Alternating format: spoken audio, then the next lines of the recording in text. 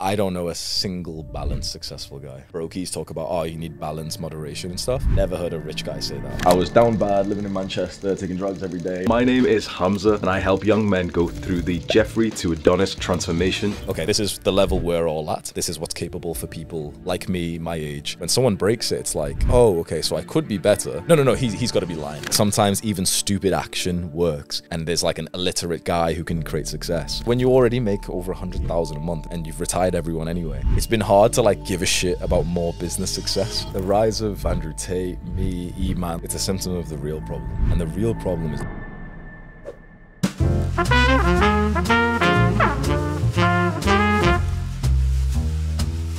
This episode is brought to you by Nolson. Perfect fit and premium fabrics at affordable prices. Click the link in the description and use code LOTGENOTEN20 for 20% discount. Hamza, I did a little bit research on you, and I saw some uh, in a blog. I saw uh, written that you are a millionaire, that you have a net worth of two million dollars, and I was questioning: uh, Is that true? it depends how you calculate net worth. It's it's hard for like for an influencer because net worth is calculated on your assets. Your subscribers, your email list is an asset, but you can't technically kind of sell it to other people. So it's hard. But basically, the most current figures I have is we make $190,000 a month in my one program that I sell. Great. You sell it on Skool, right? Yeah, that's right. That's the one. Yeah, Yeah, we, yeah, we yeah, just got number cool. one on Skool. We, Really? I've been number one on Skool for a while. Yeah, There was a big Skool competition with Alex Hormozi, Sam Ovens. We just came number one on that. That's crazy. Congratulations. Thank you, thank you. Very nice. Later on, we can talk more about it. Yeah, How you did that? Yeah, I'm sure. very curious about it. so But first, um, you make a lot of money. can be easy about let's it. keep our voice down, bro. We're in Amsterdam, bro. No That's why we're in the basement. easy, easy in hiding. Nobody can hear us here, so that uh, that will be fine. Um, but there are a lot of people that are watching, and then they see you and they think, "Oh, he's a millionaire. He's here, and I'm only here, right?" Mm. So, what is the one of the biggest lessons you learned on your way to become a millionaire? Mm. Oh, good question. You know, first I'll say you said there's some guys who are seeing me and thinking, "Oh, he's there, I'm here." I was born in poverty. I was I was born in like fully poor family. I didn't have enough calories to eat, and so my body didn't develop properly. My knees are like fucked up, caved in. I had rickets from malnourishment. So I was as poor as they could have been to start with. And first there was my my father who worked incredibly hard for two decades. He worked like a laborer. He he worked 14, 16 hours a day. Nighttime, taxi driver, shop um, shop owner. One of the biggest lessons is having a supportive family, because many guys don't have that. When I I uh, came home in 2020, I'd, I'd moved out to university to Manchester. Then I moved back home, and I want to take business seriously. I want to become a YouTuber, and you know my parents had always seen me as this kid who's just playing video games, eating junk food, just being stupid, whatever. But I came back as a new man. I came back with a bald head. I was training for the military. Every day I'm waking up at 5 a.m., 4.30, hitting push-ups. I'm skipping outside when my dad wakes up. So they've never seen this version of me before. I've got a six-pack. I'm not fat. I'm not binge eating. I'm eating clean. For weeks I did this. Mm. Then one time they asked me, so, you know, what do you want to do with your life? You graduated university. What do you want to do? And I look them both in the eyes and I say, I'm going to be a YouTuber. The next day I wake up with 18 new subscribers and it's just people from like our family, our village, our farm. Hey bro, you know, I'm from your dad's village. He sent everyone the link. We were here to support you. Amazing. My family was supportive from the beginning. From that point, like three, even when I had no subscribers, they set up everything so that I had like a amazing place to work, no distractions. My mother makes the food, brings it up to me and everything. My dad's ticket drives me anywhere I need to go, and that's my special advantage. It's like I'm not a self-made millionaire. I'm a millionaire with with a family who helped me get there. Amazing. You were already rich. Exactly. Yeah. So- As you said before, there are a lot of uh, younger guys, girls as well, probably, that don't have the support system that you had. And it's very hard because you can't build the support system in your parents. You can't tell them to be supportive if they're not. So how would you go about creating a great support system that maybe resembles what you had if you don't have it from your family? That's an excellent question. With good friends.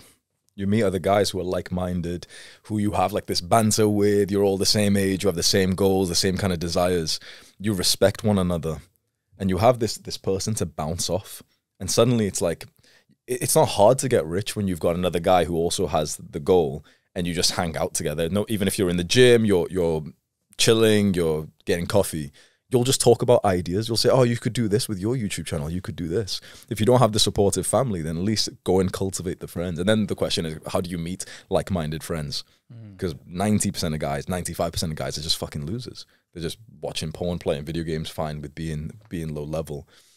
So you got to find these communities. You got to use like the the internet space and find a way to connect, like we've connected now. It's important that you, that you reach out, and at least the fastest way is just develop the online personal brand. If I had zero subscribers, I wouldn't be here today. Of course not. You wouldn't have ever have found me. Hmm. But if when you build up a personal brand, you build up the podcast, you build up the YouTube channel, the TikTok, it's like your online CV. People will find you and they'll literally make it easy to connect with you. And suddenly it's like you're getting invited to come like hang out and talk business and laugh about shit. And it's like you've got the contact now, you've got the support system. Yeah. True, true.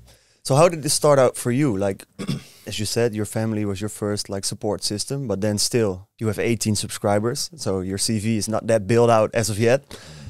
How do you start building out the digital CV? Like, what's your first thing you're gonna do? Because now you have to do something. Because everybody is like, he's gonna do this thing, and you're up in the room. What's next? I'll tell you a practical step.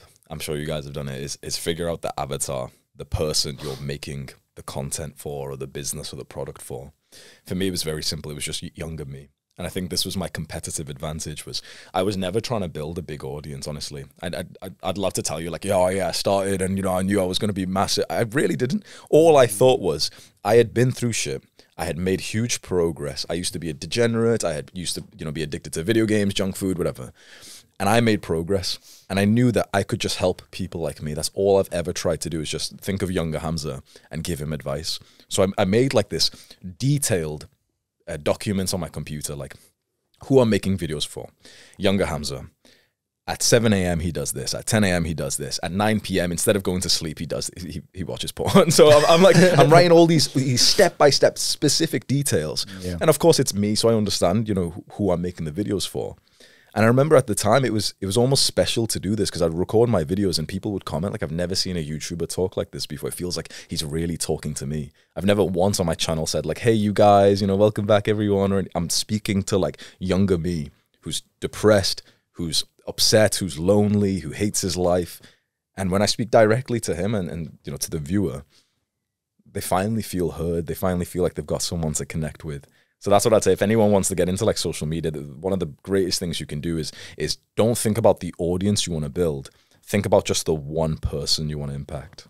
Are you too busy grinding, working, and end up eating shitty food? With the Fuel Your Body meals, you can always have a quick and healthy meal. Click in the link in the description and get your meal today. After five videos or something, you already got a hit, a viral video, which got over three million views. Yeah, After five videos only. It was And seven. It was it was after a while. So it was Yeah. I posted five videos in like 2019, and then I stopped after that. Mm-hmm. Then I started posting consistently in 2020 for a year straight and got to like one, 1.5 thousand subscribers. And then one day, one of the first videos I ever posted went from 200 views to 20,000 in one day.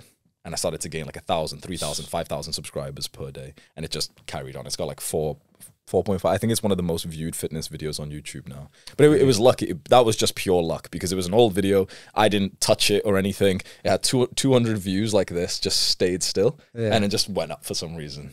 Damn. And you know what? Actually, you know what was actually lucky about this? That topic was on building an aesthetic body, like an attractive body that gets girls. Just before it blew up for about a month, I was working on an online course on the exact same topic. So when it blew up, I had it ready. I set it up for sale and I went from 1K a month to like 10K, 15K a month. And I'd never been below $10,000 a month since that point. That's crazy because when you started, I heard that your goal was to earn 1k a month. Exactly. Yeah. And then you go like yeah. pass that goal, you earn a lot more than that. Mm, What is your next goal then? one million profit in December. this year. Yeah. So, so how long ago did you hit like the first 10k? Like how many years? You said in 2020 you really start posting and the first Mm. post really hits. How long after that is the Yeah. 10k month? 2020 May I started really, and I think June or July 2021. So just over one year to get my first 10k. Really? Yeah. Okay. And so after that, because that's what we noticed usually with business, like from a zero to 1k takes very long, and Mm. one to 10k takes very long, but 10 to, for example, 50 or 100k, it gets way easier. Mm. So how did you see your business develop after that? Mm. So it was it was 10k a month just by selling this online course, and I made some other courses for probably about maybe about one year. It went up to like 30k because my mindset was always I was way more focused on the audience building rather than the monetizing. And it was this idea that okay, if you sell hard, you're probably going to sacrifice some of the audience building. And I just wanted to get the audience. So it was about thirty thousand a month in um, yeah June 2022 and it stayed at that point for for a while because I just I refused to learn like the monetizing skills I wasn't good at that you know making the sales pages or even hiring people I'm in a particular style of business which is like I'm very good at speaking to people giving advice influencing leadership but I'm not that great at the actual monetizing things. I didn't even know like most of the terms before this. And um when I moved to Dubai at the end of 2022 I remember it was the first time where I, I actually in a weird way was kind of broke where I was making 30k a month but my expenses were about 30 35k a month as well. My videos were super expensive to make. Then I had the lifestyle you know I'm an influencer got to look cool got to show the Yeah. Rolex and stuff. And um, after that point when I moved back early 2023 that's when I got onto Skool. And then when I launched that I made 75k in the first 24 hours. And then since that point it's been above 100k every single month. So I wonder, a bit selfishly, like the thing we've been doing as well is building audience, and then at some point you want to monetize. But there's always like the mental battle between if I start monetizing too hard, won't the audience I build be like, what is this? We came here for value, but now it's just selling. So how did you notice this developing? Like you start to go from just building audience to monetizing them as well. What were the effects of this switch? honestly, as long as you have a team who uh, who can manage either side of of building the audience or monetizing, I don't think it's as clear cut as like if you monetize, you're not going to build the audience. Like look at Iman. Iman monetizes hard, makes a fuck ton of money, but his audience is getting bigger than ever. So he broke that belief for me. I think that was like an old belief I had, which was like, okay, if I if I monetize, my audience won't grow. I, I, I was certain that was the case up mm. until I saw Iman do his big events. He's got to 4 million subscribers. He's monetized. He, he's made millions per month in some of his events. So how, how do you do it? If, well, if you've got a team who, for example, are still making the very valuable content and you're still leveling that up, then, and then you've, let's say, for example, you've got the team who are making the product side of things and monetizing, then you'll be fine. There's like a lot of young YouTubers ask me like, oh, when should I monetize? And I just tell them like the brain dead answers, like when you want to make money. Don't don't overthink it. It's like if you want to make more money right now, if that's like the goal of yours, especially for the young guys who who aren't even making the first one k.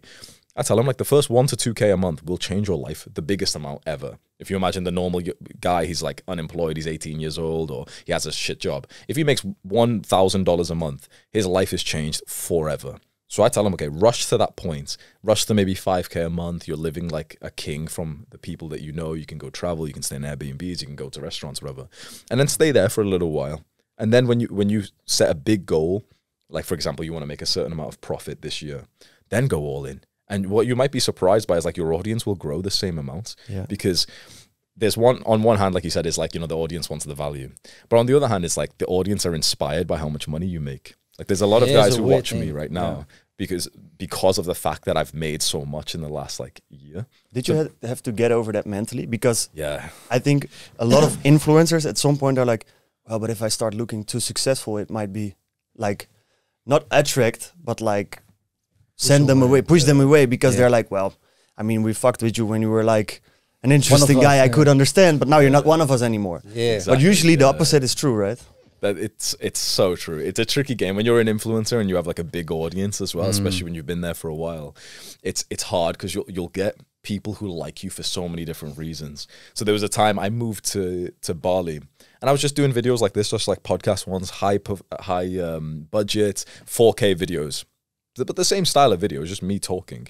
And pe- there was so much hate. People were like, "Oh, I miss the old Hamza. I miss when he was in his parents' bedroom." I was like, "What do you want me to do? like, you want me to be a loser like you again? Like, oh, Hamza, you changed." I'm like, "It's a self improvement channel, dickhead. What did you think? It's, like, it's been three years, bro. Of course I did." Like, so it, it's hard. It's you will get people who'll comment. Let's say you guys make a fuck ton of money this month, this year. You'll get people who will be like, "Oh, I miss the old room. You know, the wholesome. You had the, your mm-hmm. friend's shoe boxes on the side." Yeah. You've got to just think who who are you optimizing for? Is it the kind of guys who aren't actually making that much progress and they're stuck at that earlier level, or is it the guys who look up to the success? In the um, conversation I just had previous, I was saying I, I wish more young guys had this brotherhood mindset where when you see another guy doing well, you, you praise him for it. But we don't, and I don't know why. And I, have this as well. Like in, in 2019, when I first saw Iman Gadzhi and I saw his adverts and he was making so much money and he's retired his mother and he's done this, I thought he was an asshole. I honestly like I hated him for no reason. I like, I literally thought, okay, scammer, liar, whatever. It's it's got to be fake. He's younger than me. He makes millions. No, got to be fake. Got to be. Two three years later, like he gave me this watch and everything. It's like, of course, it's not fake. But I but I, I hated him without even ever knowing him, just because I saw an advert, just because it was like he looked successful. And I think so many guys have got this. I don't know where it's come from. Like education system has made us hate the the winner because we should all be the you know the participation trophy guys. Yeah. But I wish more guys just saw someone who was building the success and, and looked up to him and thought, damn, that's so interesting. Let me learn from him. That's interesting to unfold though, like, because I've been wondering about this as well. Like, why do we grow up with such a? We don't like success. It's just like there's a type of hate, and we also get very easily, um, like, yeah, what do you call it? Jealous. Yeah, we get jealous, but also yeah. very easy to like uh, tell somebody that's not true. So, like for example, we have this guy in the Netherlands, Joshua Katz, who at the very beginning of like uh, online guruship, he was one of the first guys that started selling a course, and he came from the same neighborhood that we grew up in. So we saw him in real life doing well, and I was like, "Wow, that seems interesting. I would like to do that." And then I think one or two friends were like, "Nah, man, he's a scammer," and I was very easily convinced. And afterwards, I wonder, like, at face value, I was like, that's very interesting. I believe it. I want to like go in it. But then I was very easily convinced that it's not true. So, what do you think creates that among young people or people in general that they do not believe success for some reason? It's like the the fat co-worker who sits next to me. So when I worked full time, I was enlisted into the military as well. And I I had shaved my head. I would wake up at five, go to the office where we had a gym. I would train there. I'd do the first part of our work shift before lunch, and sneakily on the side, I'd eat my sandwich so that I had my full lunch hour, and I'd go back to the gym. Mm-hmm. The people around me, they were obese, they were fat. Before I went to that office, they were all fine with that excuse. They didn't have time. They weren't. They were too tired with work. I broke it for them, and of course, that's going to make them feel uncomfortable. So it's the same with money. It's the same with success, especially for like people in your area. It's like, okay, this is this is the level we're all at. This is what's capable for people like me, my age. When someone breaks it, it's like, oh, okay, so I could be better.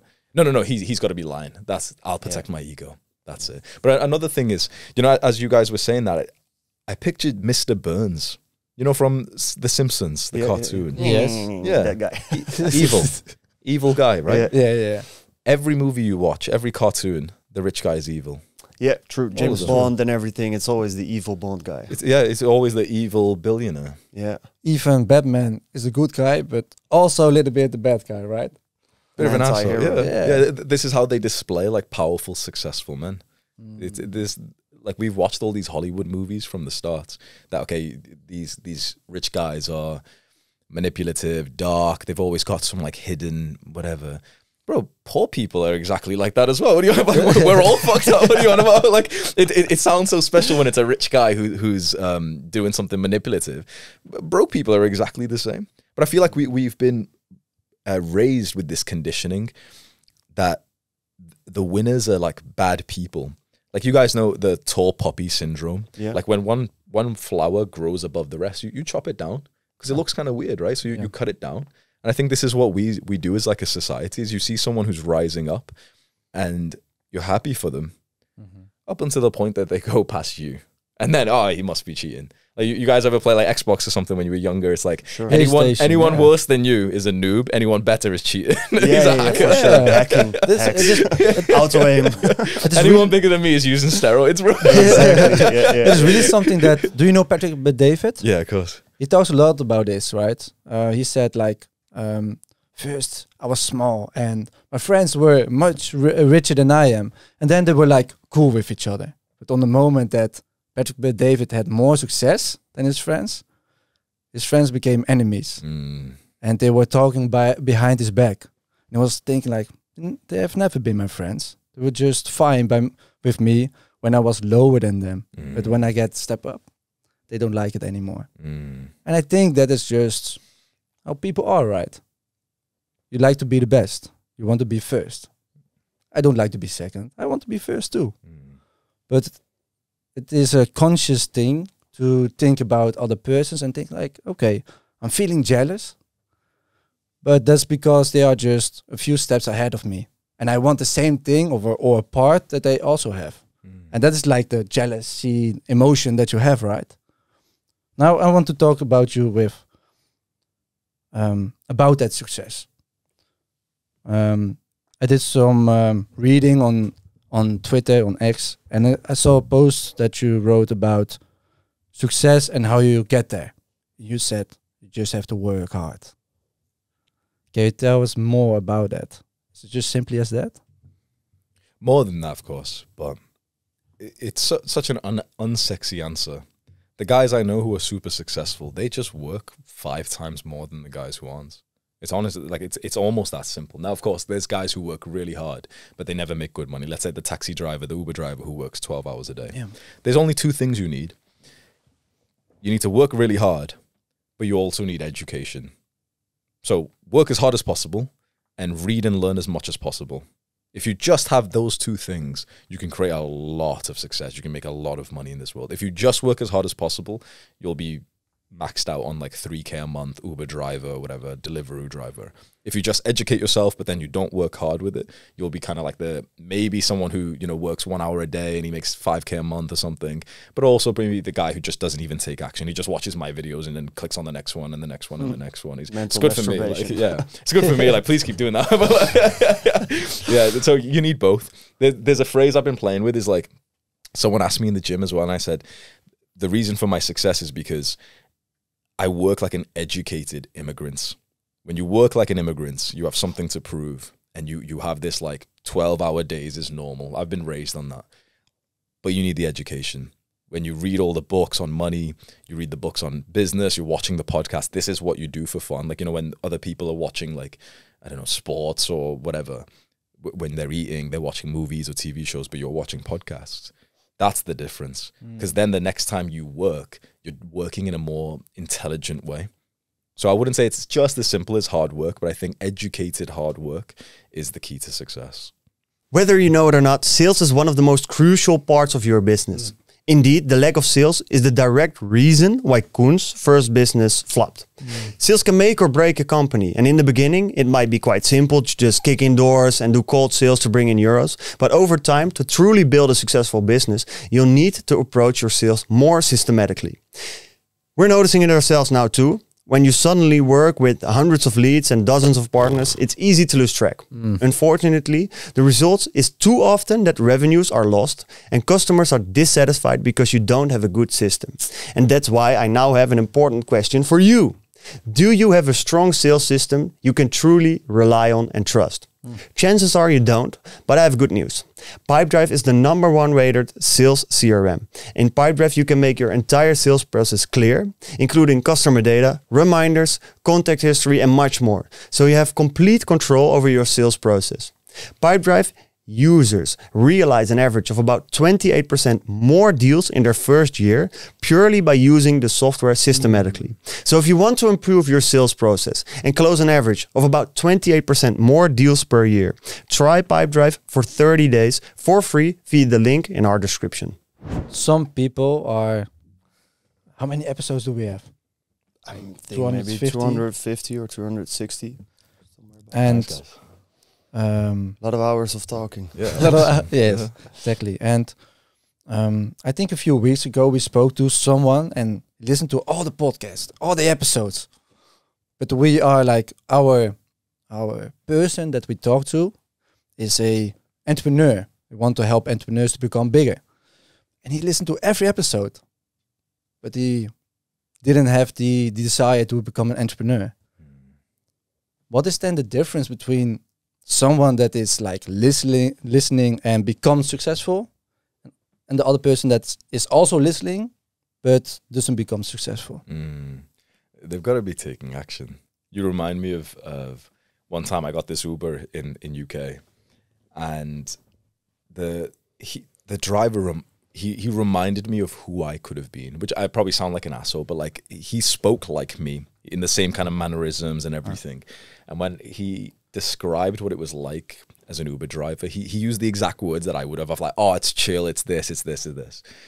And then there was one point where I just lost all respect for him because he we started speaking about Andrew Tate and he mentioned Tate's program to make money online. Hustler, it was Hustlers University at the moment, forty nine dollars, right, thirty something pounds.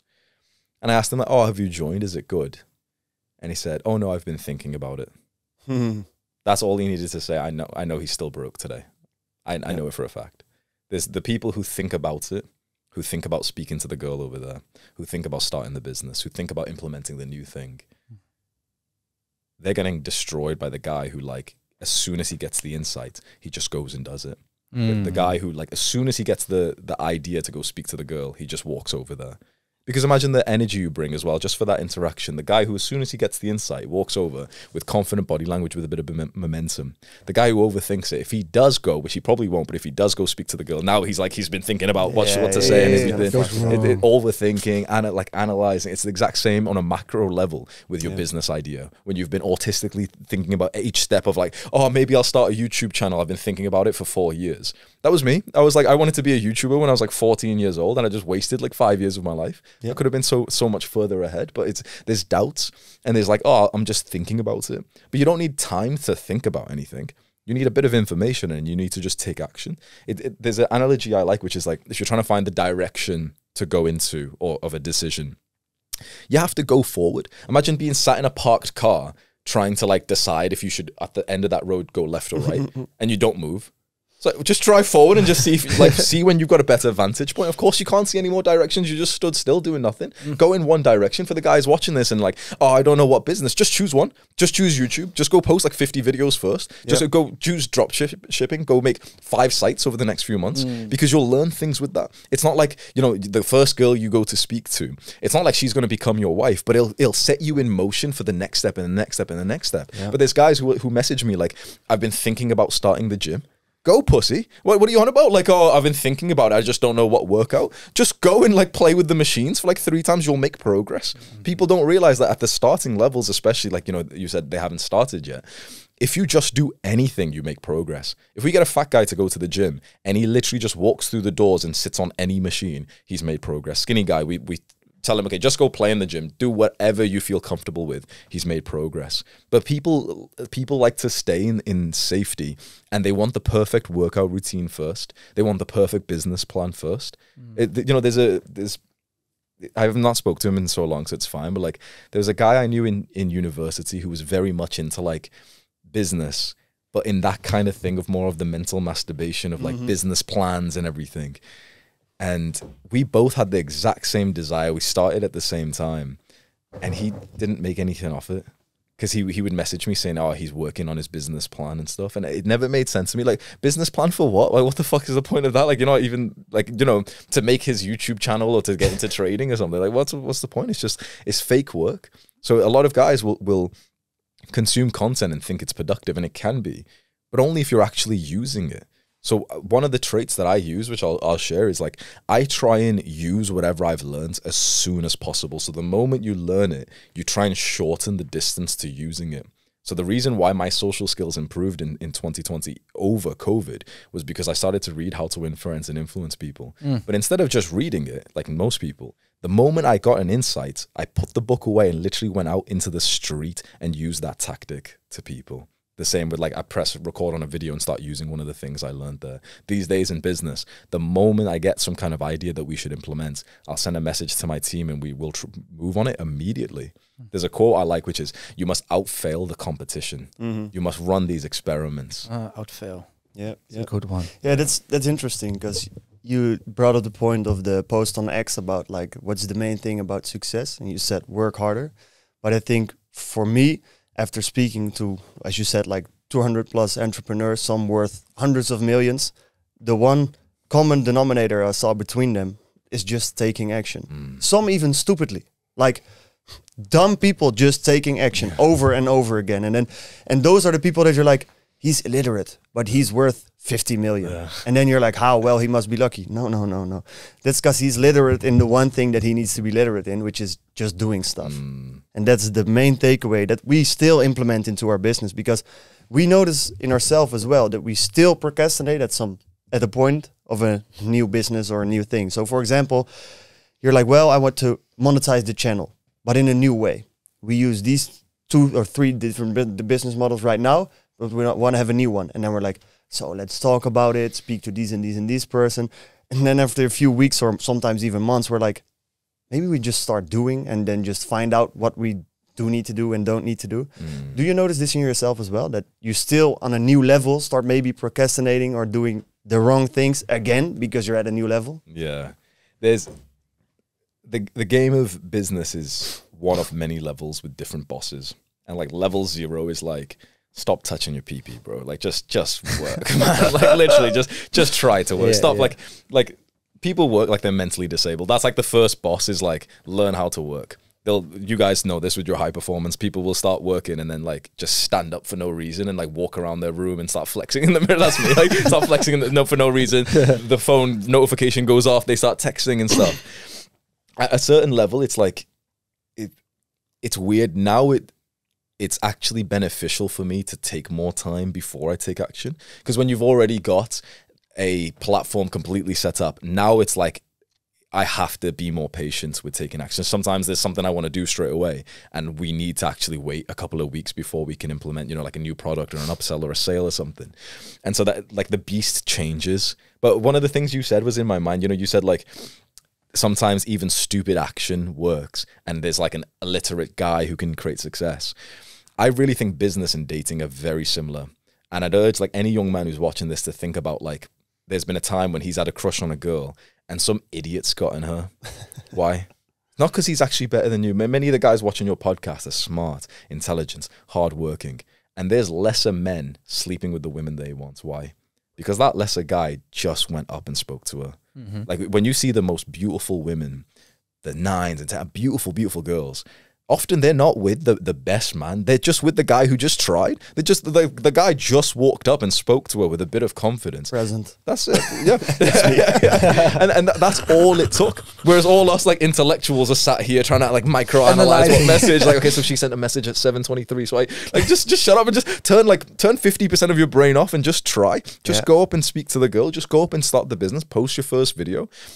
You'll be surprised of just how much results you can get when you can just try. Hmm. I think a lot of confusion also comes from the fact the point you br- brought up earlier is like at some point you do have to slow down hmm. and start thinking very practical, be rational, and make a business plan hmm. because you have a business that has a hundred people that work there. So you cannot just go gung ho, do whatever you want, and that's where people get it mixed up because there's a beginning beginner watching at videos of somebody that has been in business for 10 years. Mm. Li- listening to the advice Yeah. after 10 years. But it's not going to work for you if you're in your first year. And that's where it gets very interesting because what's the translation to my phase of business i'm in and who do i need to be looking at? Because who i need to be looking at this year could be completely different from the person i need to be looking at next year. And this is the same in health and fitness and in relationships as well. So how do you think people should go about finding the right people to get information from? Because there's a lot of people giving information these days. That's, That's a, true. Yeah, that's a b- uh, brilliant point. So there's um there's something that a friend of mine named Andrew Kirby. He sent me a message, right? He he's the one who invited me onto Skool in the first place. He works closely with like Alex Hormozi and Sam Ovens. And I asked him, from what you know about me, because he he he uh, has done like kind of like work for me and everything, right? And I said, from what you know about me and my business, what do you think the constraint is for me to move on to the next level? Hmm. And he sent this big message back, which I'll always remember. He said, In the early days, you're like a speedboat. You need to be quick and be able to move directions fast. But when you're at the level that you're at, you're more like a cruise ship. You need to set the direction and try and stay consistent without changing the direction. So in the early days, that sort of ADHD entrepreneur who who has like this, you know, this go go go go mode is very powerful. But later on, what once you've built up a huge level of success and there's more to lose, that's when you don't want to be like this ADHD guy. Like that's my biggest weakness as an entrepreneur. It's like I'll lose interest in something and gain it in something else. And it's like, okay, guys, let's just do this instead. Like, well, we should just refund everyone, guys. It sounds like great. like, so I did that. I refunded like 700 guys like last year. Sounds like a great idea to me. like, my team's looking at me like at this level. It's basically like the, the biggest constraint of my business is just me. It's just like I'm I'm there setting fire to stuff, and my team has to put it out. Like, Yeah. But at, at the earlier levels, it's just like. It, uh, well, your question was okay. How how do you find the right person? It can there's two things. You can try and find the person who's just one step ahead of you. So if there's a guy who's uh, who's um let's say just wanting to get into business you could find a content creator who's making like 1k a month or 2k a month and follow hit their journey and that could be nice. Or you've got to try and find the, the the high level guys who have got so much awareness that they can actually like speak to you as their avatar. So this is this is kind of like me talking about younger me. When i make videos I try not to talk about like my current life or my current mindset towards things because it sounds sounds like you know offensive, but the rules are different for the levels of men that you are. When I, when I was 18 years old, I had to play by different rules. The game that I play now has completely different rules than what my audience has to play by. Hmm. So I've made the mistake sometimes where like I'll talk about my current life and guys will kind of take that and then they'll be confused and everything. No, it doesn't work. But last year you said this. No, no, no. But like, no offense, but there's a big difference between the game we're playing now with the money I'm making, with the man I've become. So it, it it's difficult as the influencer to always be in the shoes of your audience. And that's what we need to do is like you need to be, always be thinking about the avatar and think, hey, where are they actually? And so for the guys who are actually watching the content, just uh, keep an eye out for the kind of person who talks directly to you, and you can tell that like their advice works. As always, just blind, like just take action, take the stupid action. Yeah. If I give you a piece of advice on my video, just try it. Don't even overthink it. Just try it and see what happens. I mm. remember once when, when Andrew Tate was going viral and so many people were criticizing him, his advice is this, is this, is this. I actually thought to myself, you know what? If the average young man turns his brain off and does exactly what Andrew Tate says, his life will be significantly better by the end of the year. Simple as that. For mm. many young guys, especially at those earlier levels, it can be quite nice to turn like 50% of your brain off stop the the challenging the critical thoughts and just go do what one of your role model influencers suggests and just see what results you get. One of the things i say to the guys is your brain got you here today. Your brain made you watch porn a thousand times. Your brain made you eat the junk food stay up late whatever. Why would you keep trusting your brain? Hmm. If i give you a piece of advice like hey go to the gym do this workout and your brain disagrees but you're fat Mm-hmm. why would you trust your brain? So I think the reason why I was able to make quite a lot of progress was I just had this skill to turn my own brain off, look towards my mentors, towards people who had create, created amazing success, and just try what they suggested and just see what happened. It, and there's been a few guys for me who, when I tried what they suggested, my life kept on getting better and better and better and better. That's how you know you found the right person. Then just keep watching their videos up until that stops and then find someone else. We interrupt this episode because, as you know, without NordVPN, you're not an entrepreneur. Yeah. I've said it so many times hmm. already. NordVPN is key for you to work efficiently. Like a key. it's not exactly key, hmm. but it's very cool. I personally use it to get YouTube Premium hmm.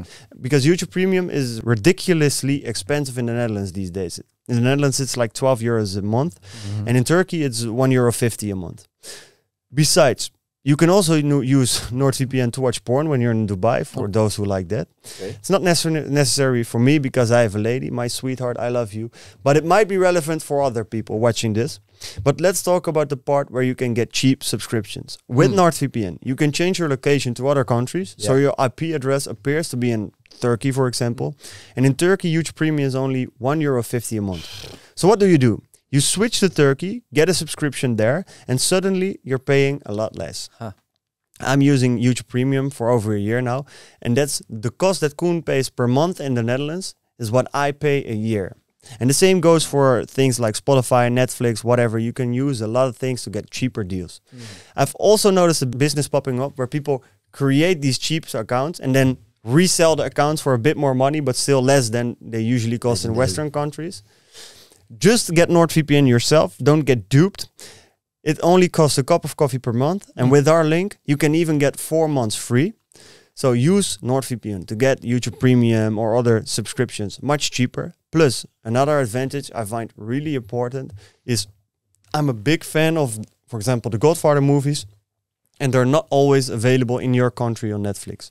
By switching your IP location to, for example, the United Kingdom, Canada, or Japan, these movies will be able to watch on Netflix for you as well. Mm. So it's a win-win situation. You're supporting us, and we really appreciate that. And you support yourself by being able to watch amazing movies and get better deals. So click on the link down below, and then we'll get back to the show. So how do you go, go about this when you're very young and you don't really know what to look at as to what is improving? Because that's the thing. Like I think a lot of young people struggle with as well. It's like I don't even know what I need to be improving, let alone what would happen if it were to improve. So then it gets very difficult because I try a new thing, but I'm actually quite clueless to what the results are. Mm. So how do you go about that? Because then it gets difficult. I made 1,000 self improvement videos. And recently, what I've done is I put the best part of all of them into a program which is completely free for anyone to go through. Because my idea was okay, there's so many directionless young guys. And as much as I want like the ad revenue and stuff, truthfully, it's like I want somewhere to send the average young guy who wants to create like a better life for himself. But most young guys have got the exact same goals. Basically, you want to be richer, you want to make some pretty good money online, you want to be able to attract a girl or at least be more attractive, and you want some respect from guys almost every guy has those goals along with others. So I made what I call the Adonis Protocol, completely free, just like a massive course that I made, which is like step by step, just do this. Here's like some things that will help you create like a new life. So for the guys who who have those goals, want to be more attractive to girls, want to make money and stuff, it's there. It's available completely for free, and um, it walks them through like how to create, how to to be reborn. Even as as serious as like I tell them, do exactly what I did. Grab the the trimmer, take all your hair off. I do that like every few months, every like once a year maybe. Take but all you're the hair lucky. off. You Huh? probably look pretty good with short hair. If I do Yeah. that, I look like an avocado. But but see, that's the point. The, the weird reason why it's not just for you know um, the look or anything. It's because every day when you step in front of the mirror, you'll remember you're on a new path. There's there's True. like a phrase I like, which is you have to kill the current version of yourself. I think this is what stops most guys is at the at the lower levels, at the earlier levels, is who they are, their self image, their identity is so poor. They see themselves as video game nerds. They've been bullied. Their parents treated them like this. They've been watching porn and stuff. They need to die. They need to kill this version of themselves and be reborn through the ashes. And the way to do that is like, how does the military do it? One of the Yep. first days you're there, Yeah. they take your clothes away and give you the, the same uniform. They trim your hair. They, they they shout at you until you're broken, and then you you reform as this new man. And so we need like a protocol exactly like that, but just for the civilian world. Yeah. So there's silly things like I've said, like wear different clothes, wear a watch 24 seven, like a digital watch, so you can always be acutely aware of the time have a military timetable. So at 5 a.m., you know exactly what you're doing. 6.15, you know exactly what you're doing. Trim the hair off, change like the clothes. I've, I've said wear like white shirts always, especially when you go to the gym, so that that way you can clearly see your physique. Trim the hair and trim the beard so that if you've got any kind of spots or lumps from a bad diet, it's completely aware to you it's like you're really seeing your your naked self and realizing, damn, like my skin's fucking horrible. I've got weird spots. I've got like bumps in the back of my head. Like the first time I did this in 2019, I realized I had so many gross spots like on my scalp and everything because my diet was terrible. The few times I've, I've trimmed my beard and I notice I've got like some spots there, it's like you can't hide it anymore. With the, the white shirt I tell my guys to wear, it's like if you're fat or skinny, you can't hide that. You know, if you wear the big hoodie and stuff, okay, it's fine. Like, oh, you know, I'm Yeah. bulking, whatever. But wear the white shirt. Now we'll see if you still want to bulk, bro. but also, like you say, like when you wear a, a white shirt, people will react differently to you because they see, ah, he has a white shirt. He doesn't has a hoodie on. Okay, that's interesting. Yeah. Who's this guy? That's why we always wear suits because people think, what are those guys? 26 years old and they wear suits, but An Why easy way to that? look interesting without being Yeah. interesting. no, I love that. You make a very good first impression, man. I was looking at your Instagram page before this. I was like, very sharply dressed. oh, thank you, man. to see. Thank That's you. why I put uh, this that's on. I'm usually in the white shirt as well with the pull. Let me look a bit clean for these Yeah. guys. and I'm curious, like um, you just talked about your uh, Adonis uh, protocol, Mhm. and you also have like the Adonis school, Yeah, and you win, uh, you won uh, the uh, Skool Games with it. yeah. Can you tell us more about that, about the Skool Games that you won? Of course. So yeah, so Adonis Gang is the free community. Inside of that is the protocol, completely free. You guys can find it all online. Just Google it. Then the Adonis School is my paid one, and inside of that is like it's 129 a month. You get as much as possible from me. I do three calls a week minimum. I bring on guests. We we get like millionaires to coach the guys. I've got YouTube co- coaches, testosterone coach. We've got like support coaches. So if a guy's trying to find direction in life, he's got problems with family, whatever, he can come ask for advice. Then we do trips. So we've got this business mastermind tonight, and we're all meeting here. Then tomorrow we all meet in the park and everything. It's it's just awesome, and Yeah. it's so affordable because you you guys know being in this space. How much could I charge for a mastermind? I'm people charge up to 10k, Yeah. maybe even more. They get this inside of the 129 subscription because it, it's a very powerful model, isn't it? Because so many guys join, so I make a fuck ton of money, but Exactly. each guy doesn't pay that much. And yeah, um, it's not the whole upsell thing of like for There's- there's no 129 you get this, but then the That's it. mastermind is uh, 2k extra and everything. there's no upsell. It's just like you pay the 129, you get access to everything. That's great, man. So it's nice, isn't it? And, Yeah. And um, yeah, so Skool, the website it's hosted on had like this big competition. Whoever makes the most money in February wins, and we'll fly out to Vegas to meet Alex Hormozi and Sam Ovens. And um, I saw it and I was like, oh, I'm not really going to enter because I don't want to push too hard. You know, it, it will change my marketing plan. I wasn't going to push so hard right now to, to sell hard. And like two weeks in, I noticed like I'm I'm second place. I didn't even enter, but I, my name was in there. So I was like, okay, fuck it. Let's just let's like we're second place. It's fine. You know, we'll stay at second. Then I'll I'll keep looking at it. I'm like, you know, second place doesn't sound that great. There's this woman in front of me who, who I think she had like maybe five, ten, fifteen thousand dollars ahead. So me, I said to my brother, like, let's just win. So we pushed hard for it, and we we um we ended with I think about 88,000 new monthly recurring revenue added on top of what we had before in February. Plus, bear in mind that this was uh, organic, no paid ads. And also, I'd already been selling this product for the last like nine months straight. This wasn't a launch. So, Mm-hmm. this brought our total um, monthly recurring revenues up about 190,000 now per month.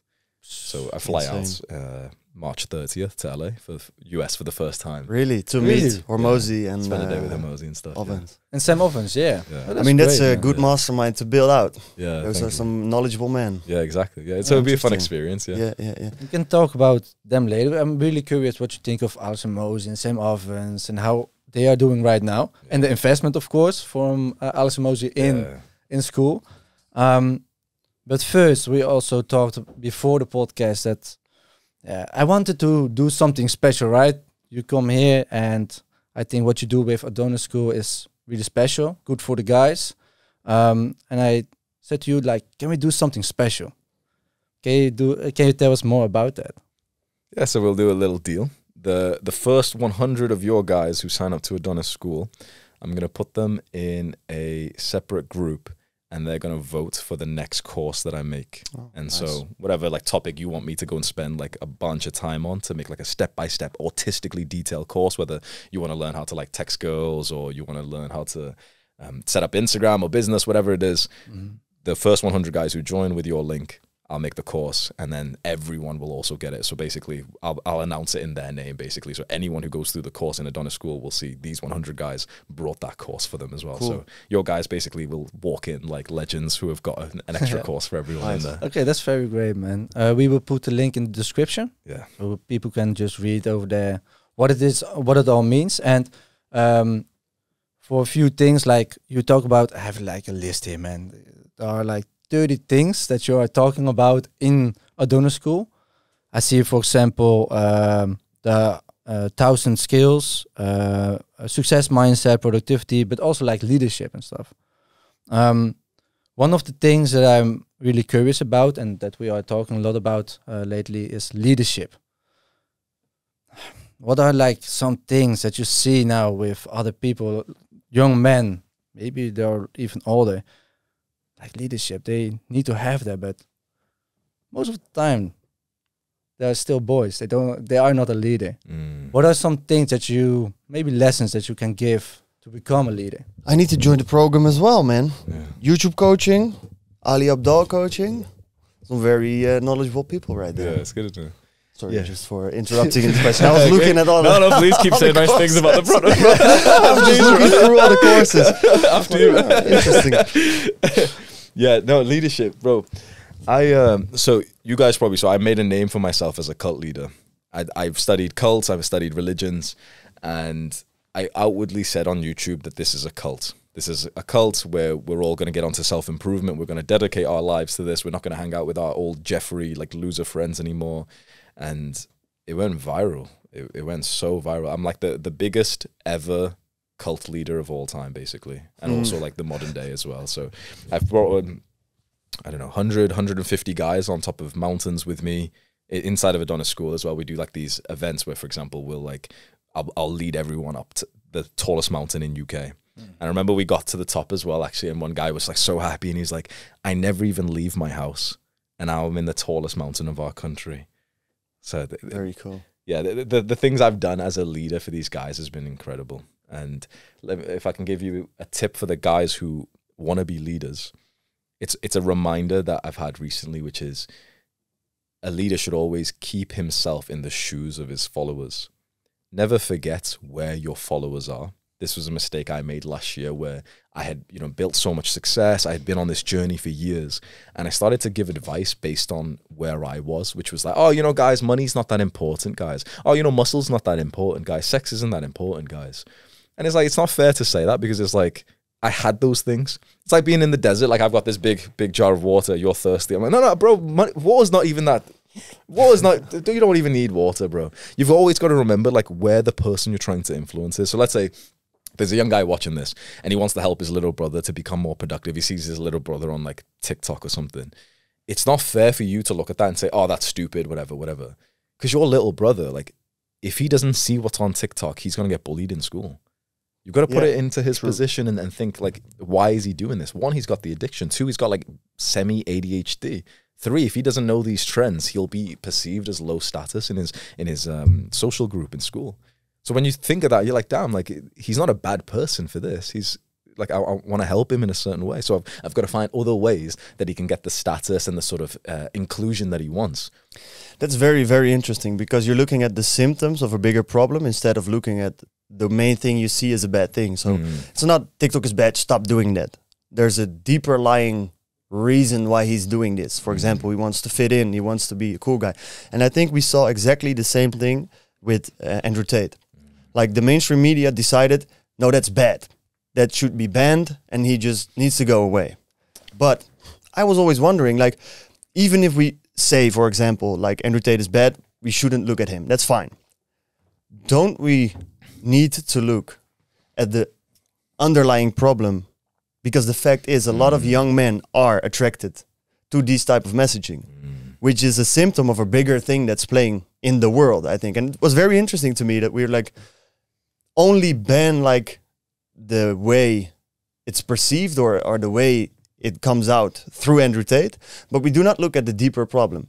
Whereas, for example, in women, not making this uh, like a sex thing, you can see, for example, some things of the Kim Kardashians or stuff like this. We need to accept this because they need liberation, and this is the symptoms of the need for liberation. It's very interesting to me that we are able to see this in women, but not in men. Mm. Because in men, we're just like, nah, stop it, skip, don't look at this.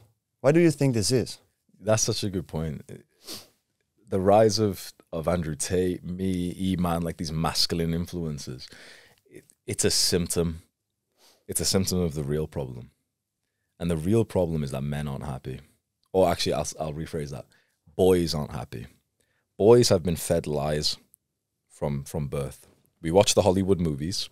They told us that if we are the nerd who obsesses over the girl, we'll get her. We tried it, didn't work.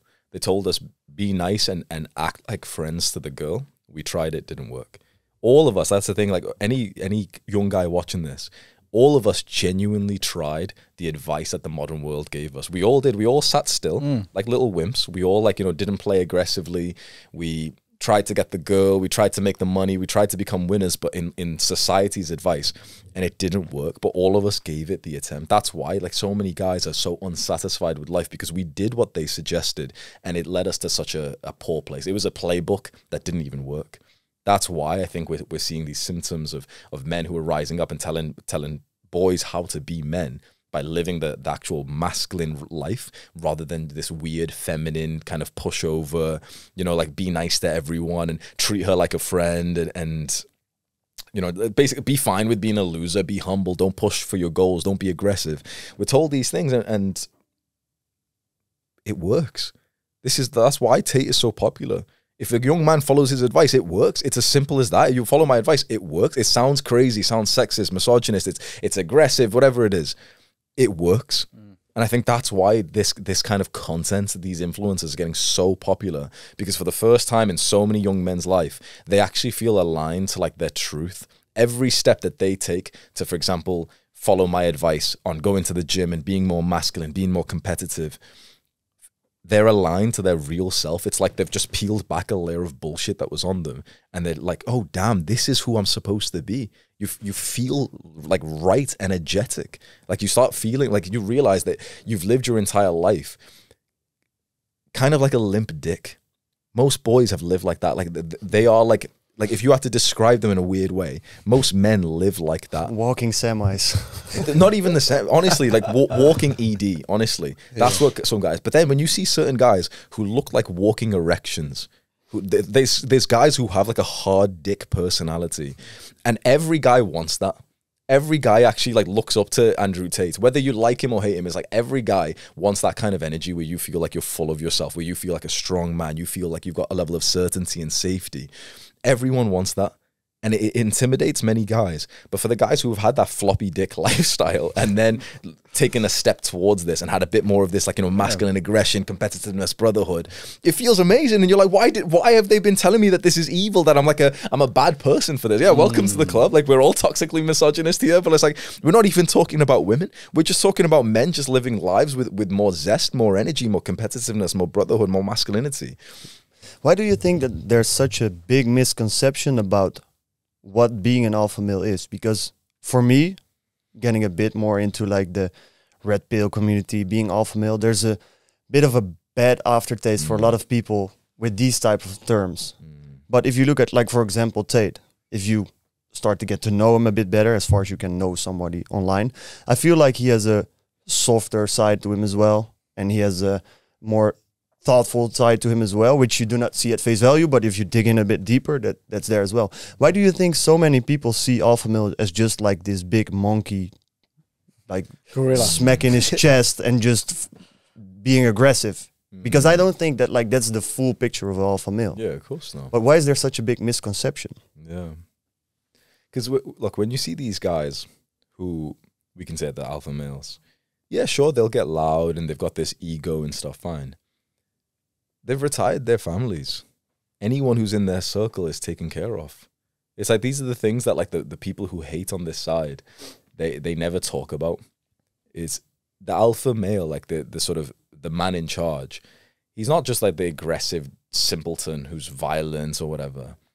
He's also taking care of his people. He takes care of his tribe. It's just it's being the leader of a tribe, isn't it? And so it, it's a shame where because I think it just comes from I don't know, from feminism and the way we've been raised. Like, I remember those same movies we watched where the nerd gets the girl. Before the nerd got got the girl, what what was happening? The jock had her, mm-hmm. and the jock was the bad guy. And it, they they created the narrative that every movie we all watched, the guy who actually got the girl, or like you know, who was with her originally, was the bad guy. Mm-hmm. That guy, when you really think about all the jocks that you watched on these movies, he was actually a lovely like he was just training really hard and he just didn't have mm-hmm. time for this girl. And then this creepy fucking stalker keeps like staring at her getting changed and eventually he gets her. That's what they they they literally like told us that if you're this weird stalker obsessive guy you'll get the girl. And that the, the jock who's just focused on his own sport is the bad person. When actually like that guy's like he's the team captain he's working hard he's got friends and stuff and he's just a little bit too busy. In the real world what happens is like the girl actually stays with that guy and the, the other guy's just left on scene yeah. So we we've just been fed like a load of bullshit that society acts like they don't want those men. Doesn't matter what society says. What matters is how they actually respond to you. The best women, the most beautiful women, the most respectful women, they prefer those men. The Yeah. best men want to be around those kinds of men as well. And you, and you say, okay, the society doesn't want that. Why do you think that is? Yeah, that's a good question. Maybe fear. Maybe maybe because it's manipulation. Because that man should genetically be the best. When you have guys telling you how to be that man without the genetics, but through actions, mm-hmm. it's manipulation.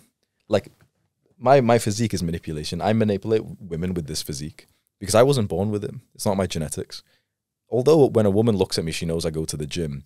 Her subconscious thinks that I've got like amazing genetics to look like this. She doesn't know that I've done fucking lateral raises and everything. Obviously, like she knows it, right? But it's like women in general want the sort of genetic superior man. Mm-hmm. when you've worked for it, it's not through genetics. And of course, there's value in working for it and stuff, but it's like in a primal way, that's what women actually want. They just want the genes of the best man.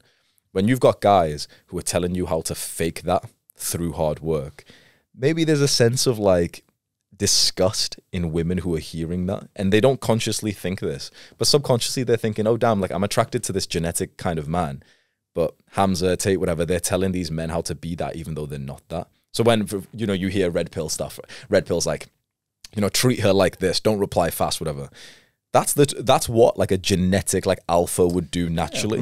But Too busy. but it's manipulative when we do it, right? Because because we're not like I'm not a genetic alpha, bro. I'm a fucking loser, right? It's like without self improvement, I was a nobody, right? Without going to the gym, and so maybe there's a sense of like I don't know d- disgust because they they feel manipulated. I, I, that's maybe just a like a far too high IQ kind of uh, idea, but I, I've always had that in my mind of if I was a woman and I was really really self aware, I would feel some level of like ick knowing that guys were working so hard to be the kind of man that I'd be into. So this is why, for example, another part of the red pill is like act effortless. So when she asks Yeah. me like, "Oh, how often do you go to the gym?" I'm not going to tell her my workout routine. I'm, I'm, I'm going to act like a simpleton. Oh yeah, I, I go a little bit. No, I go every day at the same time. you know what I mean? Like every single day, I track every gram of rice. I, I literally know exactly what macros I'm eating and stuff. But oh yeah, yeah, yeah, I go to the gym. nice, man. This is this is the same work with other men. No, it's, it's it's. I think it's the opposite with men. I think this is how it is. Men in your circle mm-hmm. respect your hard work. So if I like me and Neil are in the Uber, I'm telling him I worked on this. He's telling him, he, he me that he worked on this. I like him more because I can see he's working hard. Mm. Yeah. Men not in your circle are kind of like women as well, where you want to make it look effortless. It's one of the laws of power. So to women and to men who aren't in your circle, you want it to look like you're not even working hard, like you're casual with it. Like Iman shows this lifestyle really well. If you look on his Instagram, he works hard as fuck, but he's not gonna like show you that on his Instagram. He's just gonna show you like him partying and everything. If you're in his circle, if you like spend time with him, he, he does like seven meetings a day. He's working super hard. He, he won't even eat carbs for like six months of the year. He won't even like speak to people. He'll he'll just be focused and dialed in yeah, it's interesting. Yeah, women are the same as well. You don't want them to know about much of the hard work. You want them to know about like your character, your success, and you want it to be like that. It's so normal for you that oh yeah yeah you know this other girl's into me whatever. Oh, it doesn't matter. And she, you know she sees that you're you're really rich. Oh yeah, it's not that much mm. because it shows you're actually above that. Obviously, to your friends, you're like, "Oh, you guys, you know, I just won the, the, the Skool Games, and I'm on the internet. Yeah, you know, I just won." Yeah, Like- so how do you keep like the balance between improving yourself being aware of your usual behavior and showing better behavior or more efficient behavior mm. and staying true? Because Yeah. we all have met the guy who is the alpha dude who in the essence does all the things that he needs to be doing but he's a fucking loser because he's trying way too hard. Plus he's living a very empty life because if you're trying to be everybody else except yourself 100% i feel like you're going to be an empty person so how do you balance these two things How do you stay authentic whilst on self improvements? Yeah, it's a it's a really good question, honestly. Um, I I got asked this by a student, and I said to him, you know what? Going to the gym in a, in a certain way, it's not authentic. You have to almost like be told to go. But how do you feel when you go? How do you feel when you look at your physique? Like it's right. This is how we were supposed to do. The same with hard work. Many young guys, it wasn't actually kind of authentic or natural for them to work hard. They had to like, you know, fight the uphill battle to be productive. How do you feel when you're successful? How do you feel when when you have worked hard? Like it's right. So uh, another question we could ask is like how authentic and natural would all this stuff feel if we were living genuinely healthy lives with like double the testosterone? So you know the, the guy who's who's struggling so hard to become an alpha male and everything. Would it feel as inauthentic if he had healthy levels of testosterone? Probably not. If we were living how we were supposed to amongst our men in a, in a brotherhood with war, competition, would it feel inauthentic? No, of course not. Mm-hmm. It's just that like the modern world we live in has made it so uh, so there's so much friction to getting onto self improvement, working hard because there's so little friction to basically being a degenerate, to ordering some crappy food straight to your place. You don't even need to leave to get junk food, porn, and and stuff. So it's so easy, and so it's so frictionless to do the bad habits that I don't think it's a good metric to ask. Like, oh, does this feel natural for you? Because in a weird way, like porn feels natural for guys. Like it, it just feels normal for them. I They've mean, it feels disgusting afterwards, but yeah, but up, up until post nut clarity and, and video games yeah. and, and but that's junk maybe food. the perfect uh, analogy then, because post nut clarity is the feeling you get after, which Mm. isn't great. And for going to the gym, it feels forced at the beginning, but afterwards it feels great. Mm. Porn is exactly the opposite. It feels great when it starts, doesn't really when it ends. Yeah, So maybe that's the the perfect way to look at it. So I think, like for most things, it's a great way to look at it. Just like how do you feel after you've shown the new forced behavior, Mm. because of the feeling after that is authentic and it feels good, then it might be good. instant and delayed gratification. So Mm. instant gratification feels good right now, like porn, video games, but it makes your life worse afterwards. Yeah, And many guys don't want to admit that. They don't want to admit that playing video games makes their life worse. But like the one hour, five hours you spend on it, you are slightly, you know, you've fried your dopamine, you feel a Yeah. bit like a goblin and stuff. You stayed up late, you're hanging out with losers. Delayed gratification is usually quite hard right now. It's exercise, it's meditation, it's like going to speak to that girl. But afterwards, you actually feel better. yeah, And I think, you know, if we talk about like mental health, for example, I think one of the reasons why there's so much like self hatred in young men is because they just keep fucking themselves over with Yeah. instant gratification. It's like it's instant gratification is basically stealing your future self's happiness. yeah. It's looking at 7 p.m. you today and saying fuck you. Literally, it's like like it's looking at you next week when you when you eat this cake and thinking, no, no, go fuck yourself. I remember watching like the series How I Met Your Mother, and you had this guy who was always like, "I'll let future me deal with that." That was his motto. So he's doing something today, and he's like, "I'll let future me deal with that." And that's the way a lot of people live. Mm. Like, I'll do this now because I enjoy it now, and then future me has to deal with Yeah. the bull crap. the and then future used 25% body fat, shit skin, poor, broke. Of course you hate yourself. yeah, Now, the thing is, when you've worked hard, of course you love yourself. I look at my, my younger self who's done what, thousands of workouts, not for himself, for me. So think about like how much self love I like. I can't help but to be like so arrogant and narcissistic by normal people's standards.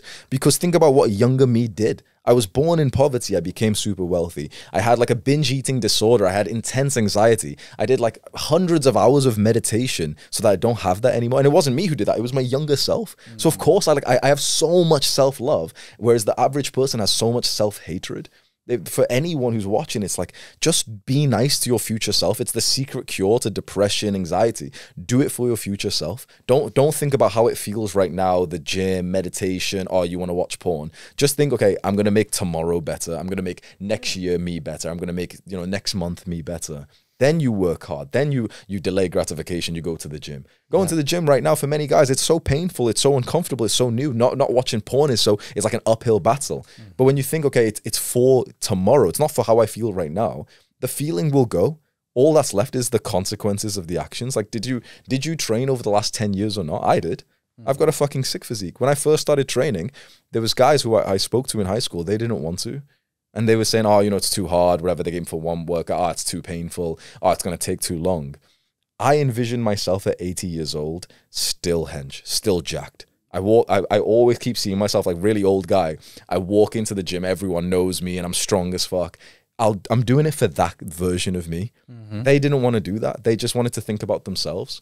Ten years later, it's like I have my dream physique, and they look like weird, like estrogenic boys. and it's it's a shame to live like that. And I think also for you, like you have a cult, right? You're a cult leader. Yeah. You have like hundreds. Now, how many people are in, in your Discord? It was like three hundred thousand. Three hundred thousand people, Yeah. and they look up to you. Otherwise, they wouldn't join the Discord, of course. Yeah. But for them, you have to look good. You have Keeps you to- accountable. Yeah, it keeps you accountable. Yeah. I have the same. Like when we have the episodes, like now, I want to look great. I want to wear the suit, be fit.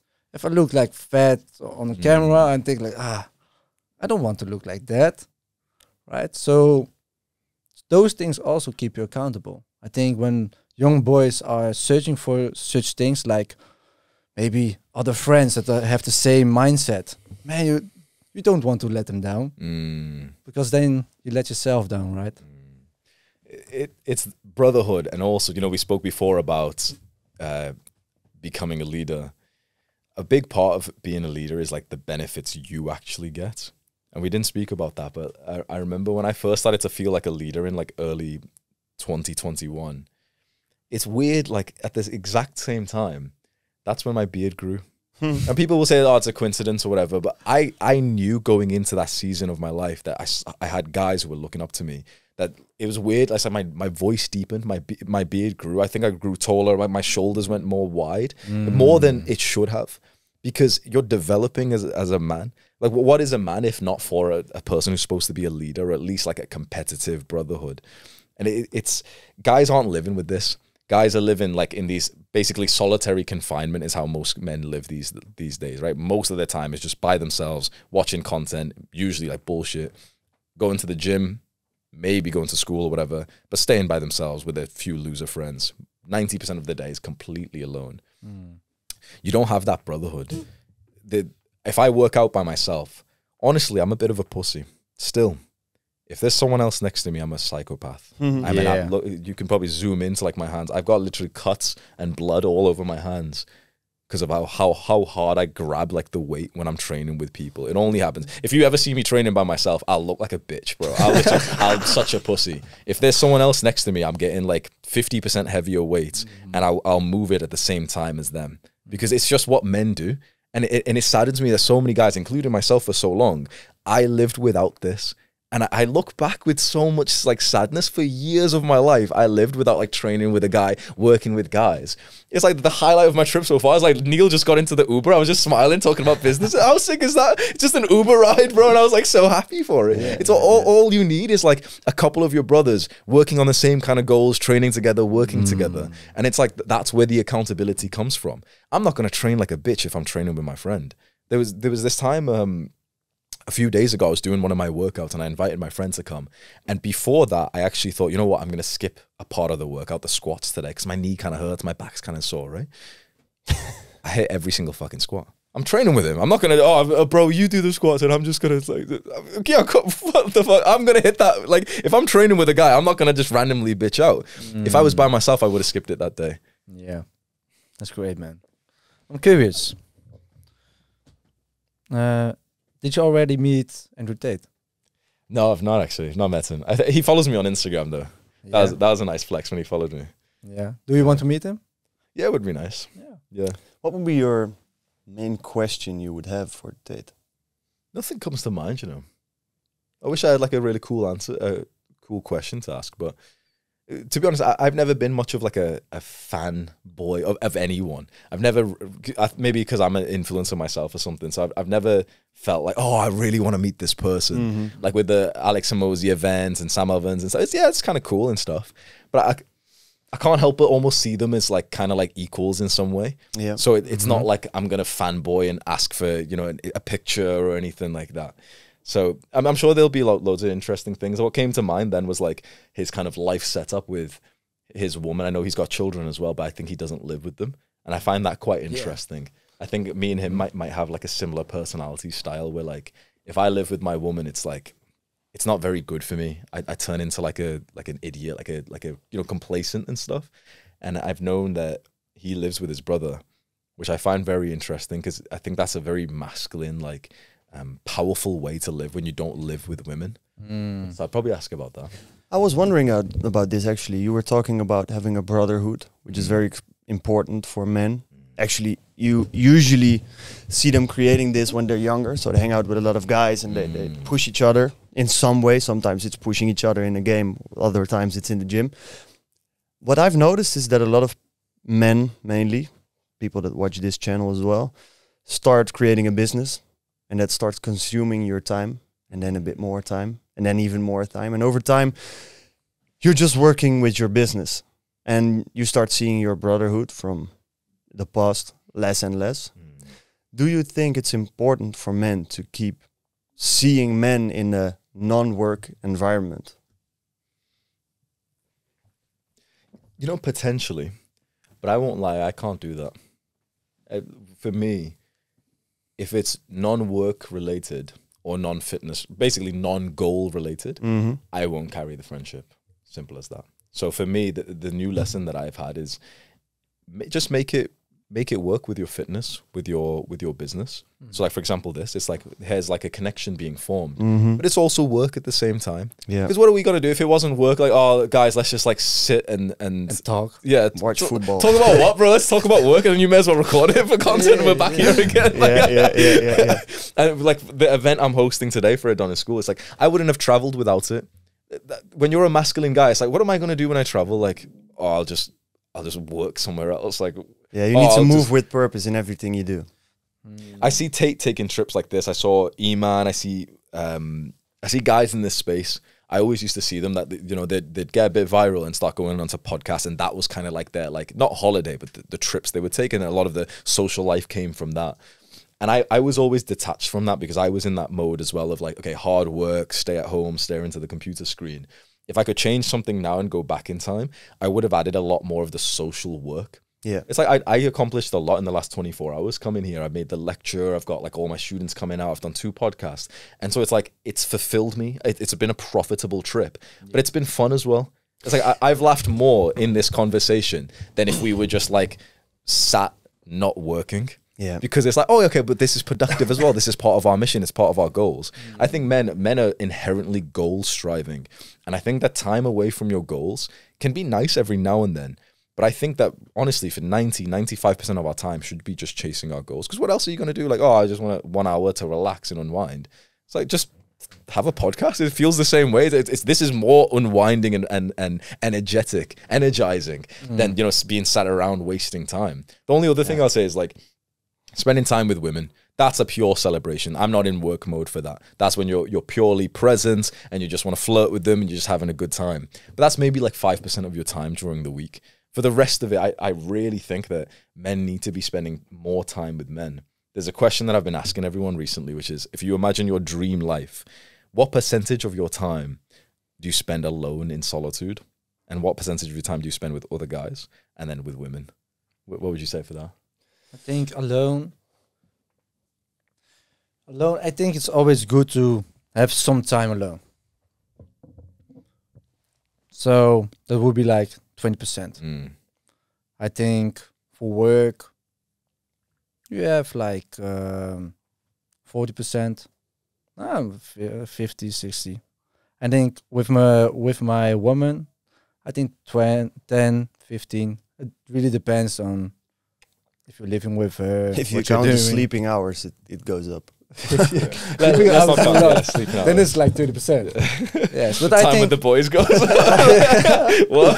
but I think like brotherhood that must be like uh, the biggest time Exactly. because Yeah. your productivity will get really high and maybe like I live now with three other entrepreneurs and we just work all the time and when I'm not working they are working and I think oh shit I have to work right but it is on a on a competitive level it's on a good way not on a stressful Mm. level or something so um, I think that's really good I think it really depends on the phase of your life as well. So I've been with my girl for uh, o- eight year plus now, and I feel like in this phase of my life, I'm really focused on building worth as a man, net worth, all those things. And in those phases, I think spending more time with the guys that push me as well is very important. But I can also imagine that when we get kids, if we're so lucky to have them, then the goals would maybe change. Mm. Like, for example, if I have 10 or 50 million and I get kids, I would be more focused on giving them a great upbringing and teaching them the ways of life. And then I probably percentage wise would spend more time with my wife and my kids as to with the guys. So I think it's very phase based as well. Mm, so for example with Tate, I think he does it very different as in living with his brother and still having children living apart from him. I'm very interested to see what kind of effects this has on, on him, on the kids, on the relationship, on the way they develop. So yeah, I, I think it's hard to say right now. But in this phase, yeah, spending time with with the guys that push you is very important, and I think I should be uh, quite a big percentage of the time. Yeah, exactly. And then when we ask guys what they're actually spending time on, what the split is like, it's basically like 90 to 100% alone. Yeah. Solitary confinement. Yeah. To, Mm. to get that kind of treatment, you have to first be sent to prison and then you have to hurt someone in prison. so you are like the worst of the worst. And that's the punishment of like the worst members of society. That's what men are doing to, to themselves voluntarily. Just living alone. So just for me to to have this uh, visualization of it, I've never felt really lonely, as in really being alone for long stretches of time. Have you had this, like really having no friends and just being alone for a whole week? Yeah. Yeah, okay. So I've never had this, but I imagine there's also maybe a lot of guys that do have friends and people around them, but still Mhm. put them in like mental isolation. Mm. So you are with people, so you're not alone, but the you're just not connecting with them. Mm. So you're just being there as in I'm not lonely, Yeah. actually you're very lonely. yeah. So what do you think the difference is between completely what is worse, being completely lonely as in having no one around or being mentally lonely? Honestly, probably mentally lonely. like the the only thing more lonelier than being alone is being with people who make you still feel alone. I like I, I get flashbacks from like being in university and like smoking weed with guys. There was there's one time we went to like this guy's place, and it's like imagine five guys sat on like a small couch. Everyone still got their jackets on, no music or anything. We're all just like smoking whilst what two of them play like FIFA or something. And I was just like, it was just so odd. It was like they weren't even talking to each other. There was no conversations or anything, no bonding moments. Yeah, I, I I would rather just be alone and you know be focused on business and everything and just be working, studying, whatever, than being around what I call like Jeffrey friends, guys who are who are doing all the bad habits, and you just kind of keep them around because they're the only friends. Basically, there's there's like three chapters of your life. There's like the Jeffrey friends chapter when you're kind of a Jeffrey, but then you're friends with all the losers as well, and you start making some progress, but they don't. And then you've got to make the decision of like, do you cut off those old friends? And often, on average, most guys will just wait months to do it. You know, uh, you'll try and get them onto self improvement to be productive business, but they won't do it. Eventually, you realize you're just going to have to cut them off. And there's this transition period where you basically have no new friends because you're just not that capable enough to attract those high tier people just yet. So you've got to go through that transition. But for many of us, we we fear that because you you're going completely alone. That's there's a tribal pain to like leaving your your tribe there. So um, it's very difficult for guys. The amount of guys who ask me for advice and they say my my friends basically bully me. They take drugs. I used to be like them, but I don't want to be like them anymore. And the advice I have to give is like you've got to cut them off. Try and get them onto self improvement business, fine, but it's like it'll never work. It's like how how fucking hard is this when you've wanted this, right? How mm-hmm. what you've wanted to be a businessman, you've wanted to be mm-hmm. productive to, to get into high performance, and it's it's so difficult. Imagine trying to get the guy who doesn't even want it, the guys who like who are fine with just partying, drinking, the guys who are fine with like just wasting their lives. You can't change them. It's been hard enough for you to get onto self improvement. Yeah. So you got to go through that transition period, and it's that's where the, the loneliness comes in. But it's valuable as well. I, I'm not criticizing being alone and being in solitude here because that's where your best work will come from. That's where all those ideas come. That's when you learn who you are and not like the perception you've had of yourself based on other people's um, idea of you. But if we're being honest, I don't think anyone would say their dream life is where they're, where they're alone 90% of the time. No, of course not. No, I think like a great metaphor of this is like you live in a village, like really small. You know all the people, but you know that your future will not lie in a village. You just know it. Your goals are not there. You can never find it there. So, but you know, like one city, like the big city, but you have to travel to the city. And like your old friends are the moments that you are walking from the village to the city, but then you're turning back. And those are the moments that you're really like stuck, right? You want to go, you go on an adventure to the big city, you're not there yet, and when you're like on 50% of the journey, you go back again. Mm. And I think the moment that people really are um, changing themselves is when they just leave everything behind, this, uh, the village, the the people that they know, um, and they go on the trip, the journey, all alone. But that's the moment that, that you like learning the most things, and then they, they go to the city, and in the city, they will eventually meet new people, new friends, and create a new life for them, mm. for themselves. It's powerful. One of the, the fastest ways to to bump up your progress, move somewhere where no one knows you. Yeah. Like, as long as you've been working hard. Let's say there's a one of your viewers lives at home right now, and he's been working hard. He's been productive, he feels like although he's made more progress, people don't treat him like that. Mm.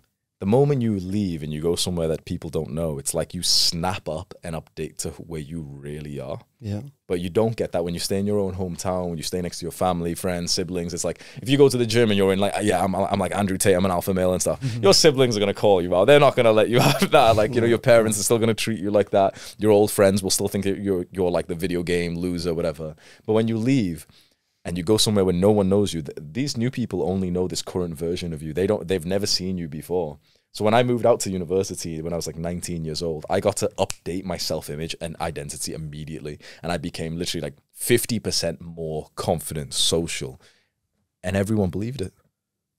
Just literally three hours ago, I had to act way more reserved than I was. You know, I couldn't like be myself. I couldn't wear the kind of clothes I wanted to because my family would judge me or something. But it, it can be very powerful. It's- You're still around other people, but it's just go to a different environment. Yeah. For, for the kind of like audience you have, who are these high performance guys seeking success, it's one of the most important decisions of your life is like where you move to, and I, I think it's very valuable if a young person moves somewhere no one knows them. Yeah. This is one of the things that I regret as far as I have regrets. I don't think regrets are very alpha to have because I think it's like, but we can get to that later. It is not moving or doing like uh, this studying abroad thing. I was very scared of it when I was younger because I didn't like uh, getting to know new people, being in an environment I didn't know. I was very scared of it, so I never did it. And now afterwards, I'm like, I took a very valuable lesson from myself by not doing that. I'm wondering, how do you look at regret? Do you have regret about things? Mm, in some ways. I have a, a notes that's pinned on my uh, iPhone notes right now, like my biggest mistakes over the last few years. And I think regret is almost valueless to just think about something that's sad that happened. But I think it can be valuable if you use it as a reminder to not make the same mistake again. That's how I seem to do it. So I've got a Yeah. list written down of some of them is like um, losing the desire for more in business and fitness. I've had a few periods over the last few years where I'll just stop everything. I'm like, oh, more money won't change my life. More muscle won't change my life. And then what do you think happens? I, I get complacent, lose progress. I'm like, oh, yeah, yeah, damn. Like, you know, muscle is really cool, actually. Like, now that I'm fat. like, so I, I, I've, I could be on probably about double this, the um, monthly recurring revenue right now, probably about 300K if I never like slacked for a couple of months last year. Um, same with YouTube as well. There was times when I've had momentum and I just stopped because I just got you know kind of used to it. I didn't respect or appreciate how important momentum is. So I, the reason is like I've got a list of these things that I've done, which I I look back. Not, not with so much as regret, but just the biggest learning lessons of like the biggest failures, mistakes that I've made. Yeah. So I think if, if someone's constantly thinking back with regret, I don't think that's valuable. In fact, I just had a call with someone yesterday and he was talking about the old pains he had with family and everything. And I, I asked him if he's ever read the book Psycho Cybernetics. Have you guys? Uh, I've heard about it, but I've No. never read it. very good. It's it's one of the first self improvement books ever written, like 1930. Really? and it's a book on your self image, like your identity, how you see yourself. And it speaks of our mind is like a goal striving mechanism. The point of our brain, our our mind, is to just put in a goal that we want the universe and our body to move us towards. So the idea is whatever we think about, we will start moving towards it. Problem is, so many people think about the negative things, the past things, the traumas, the pains, the times they've been doubted by someone. This person said this. Imagine if someone's got those thoughts in their mind and then they're going to go walk past their family member. How do they look? How are they presenting themselves? How are they talking? Like, in a way that it's going to happen again, right? Hmm. That that young kid who's who's you know father always criticizes him and he's constantly thinking about it. He's going to be walking with like you know little shitty posture. He's going to be avoiding his dad's eye contact and stuff. It's going to happen more. What's interesting is if you actually create like a fake mental movie of what you want to really happen, you will actually start to like manifest that. You truly will. I know manifestation, law of attraction sounds like weird, but truthfully, like in private, when you're sat there, if you start thinking a sexual thought, not touching anything, your dick gets hard. Your body responds as if it's true. Mm-hmm. So why wouldn't you want your body to respond to you being like a confident, successful guy? Even on, on the ride here, I'm, I'm closing my eyes, visualizing like a nice, like, friendly meeting with you guys. Imagine if I visualized like every failure that I had. Imagine my, my energy, how different. Like, how is that going to serve me, right? Yeah, that's that's true. stupid as fuck, really right? true, but man. there's people who'll spend their entire fucking lives just thinking about the regrets and the pains and stuff. You should learn from them. You should spend like you know an hour journaling. Okay, I messed up last year. Okay, I've got to fix this. Fine. But 90, 99% of your thoughts should be basically like fake mental movies that you're literally just making of like what you want realistically to happen. So another example is let's say there's a cute girl in the gym. You want to speak to her. The average guy will get the idea, oh yeah, I should cold approach. But then he'll start to think about what he should say to her. Should I say this? Should I say this? What if someone looks? Now, he's most likely not even going to go speak to her now just because he's already put himself in, a, in an insecure, overthinking frame. But if he does speak to her, mm-hmm. What's his body going to look like now? When he's literally been thinking about, like, oh, people will look at me. What should I say? He's going to go over with the kind of energy of a guy who's uncertain. Why not just like make your brain get you to what you want, which is visualize her smiling as she gives you back your phone with her number in it. Now the energy you go up with is the guy who's already got her number. It's like now, now how is she going to respond to you? It's like you're already confident. If I go speak to a girl, I always go with this energy of like I'm inviting them into the fun. They've been living a boring life without me, and I'm like an old friend that they're so happy to meet. I visualize like she's genuinely so so happy to meet me. It's like, well, how's my energy now? Yeah, sure, I'm, I'm a dick, I'm an arrogant, whatever. But it's like, how's her en- my energy when I walk up? I'm confident. I'm I'm like like exuding confidence and status, reassurance. It, it's the same with with honestly as much as possible through your day you want to be visualizing the end results. I find this stuff fascinating. There, there was a study that found two groups. One group actually goes to the basketball court and trains basketball. The mm-hmm. other group visualizes it. They both had the same level of improvements. Yeah. how insane is that? Yeah, yeah, yeah. It's very crazy because at face value, try to explain something like that yeah to a person that is yeah, not like like- in the self development. They're He like, thinks you're crazy, what the man. fuck are you talking about? But you truly notice it, like with the. I mean, everybody knows this analogy, f- probably like the four minute mile. mm, yeah It is the thing of if you see somebody else achieve it, it gets way more achievable for you. But why not create the image in your head that it's achievable and then it gets way more achievable? It's the same thing we talked about earlier of seeing a guy you know in real life be successful. Mm, It gets way easier to tell yourself, no, it's not a scam. I know this guy. Actually, if he can do it, I can do it. And that's the way the attitude you should have to a lot of things. That's why we've been blessed. I just caught myself a couple of weeks back. I was looking through like this Forbes thing in the Netherlands we have. It's called Quote. So it's the richest 500 people from the Netherlands. And I was like, let me check like what number 500 is. So the lowest of the richest. And I caught myself thinking, that's not that much. It was like 100 million. I could do that. Even though like five years back, I was doubting if I would ever be able to become a millionaire because I just didn't know if it was possible. But then I met a lot of people who were. And I was like, those are not very special people. They just work hard, take mm-hmm. action. They're just like me. So that's a tip I would give to like people expose yourself to the thing that you want to achieve because by exposing it becomes real. And once it becomes real, it's very easy, or at least much easier, to see yourself accomplish it as well. That's the power of your belief is is amazing. Like you said, the four minute mile. You know, mine was was um, I was in high school, and all of my time in high school, I thought that because I was brown skinned, I was ugly. I genuinely had this solid belief. Why? Because anytime I had seen brown people on TV, they were always bad. It was immigrant this, it was terrorism this. I Ah. only saw negative things, Muslim this. I experienced a lot of racism, right?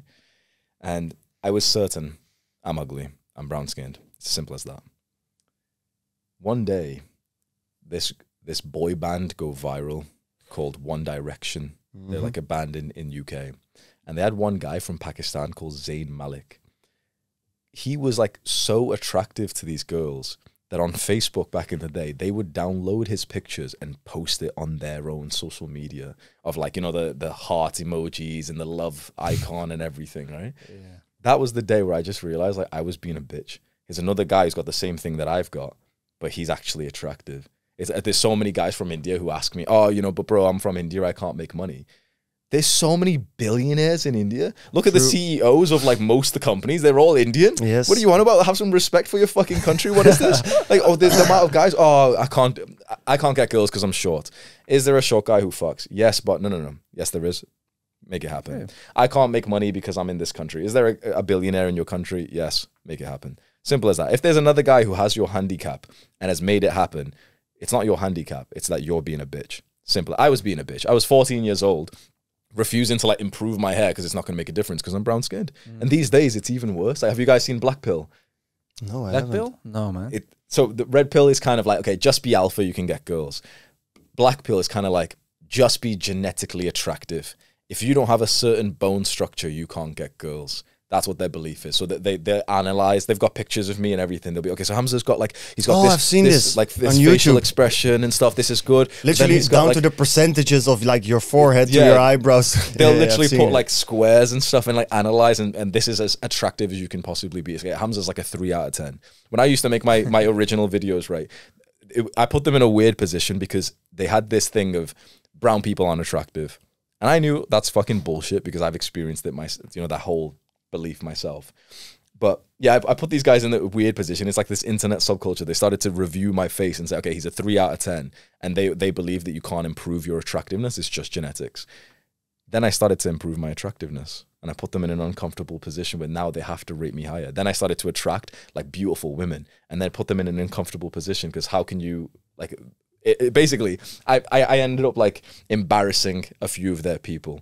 But the point was that every day that there's there's these guys who will comment saying, "Oh, but Hamza's this. Oh, but I can't do it because I'm five foot five. Oh, but you know, I'm I'm, I'm Indian. I'm brown. I'm black. I've got this hair. I've got this. I'm short. I've got this navel canval eye shape or some shit. I can't get girls. All you need to do is see one guy who's got it. Go like this. I don't know the weird shit they say. You've you've seen those videos. It's like, oh, this eyelid shape is like you can't get girls if you've got. yeah, this. man, it, they came down with some details. I was Yeah. like, I've never even thought about these Yeah, like, details. yeah. like the depthness of your eyes Yeah. and shit. I was like, I wonder what my score would be. Yeah, you can Don't pay people to like to analyze your face and tell you if you're going to be a virgin or not. Apparently, you sat there with your apparently, yeah. girlfriend. He's like, "Yeah, you're, you're done, bro."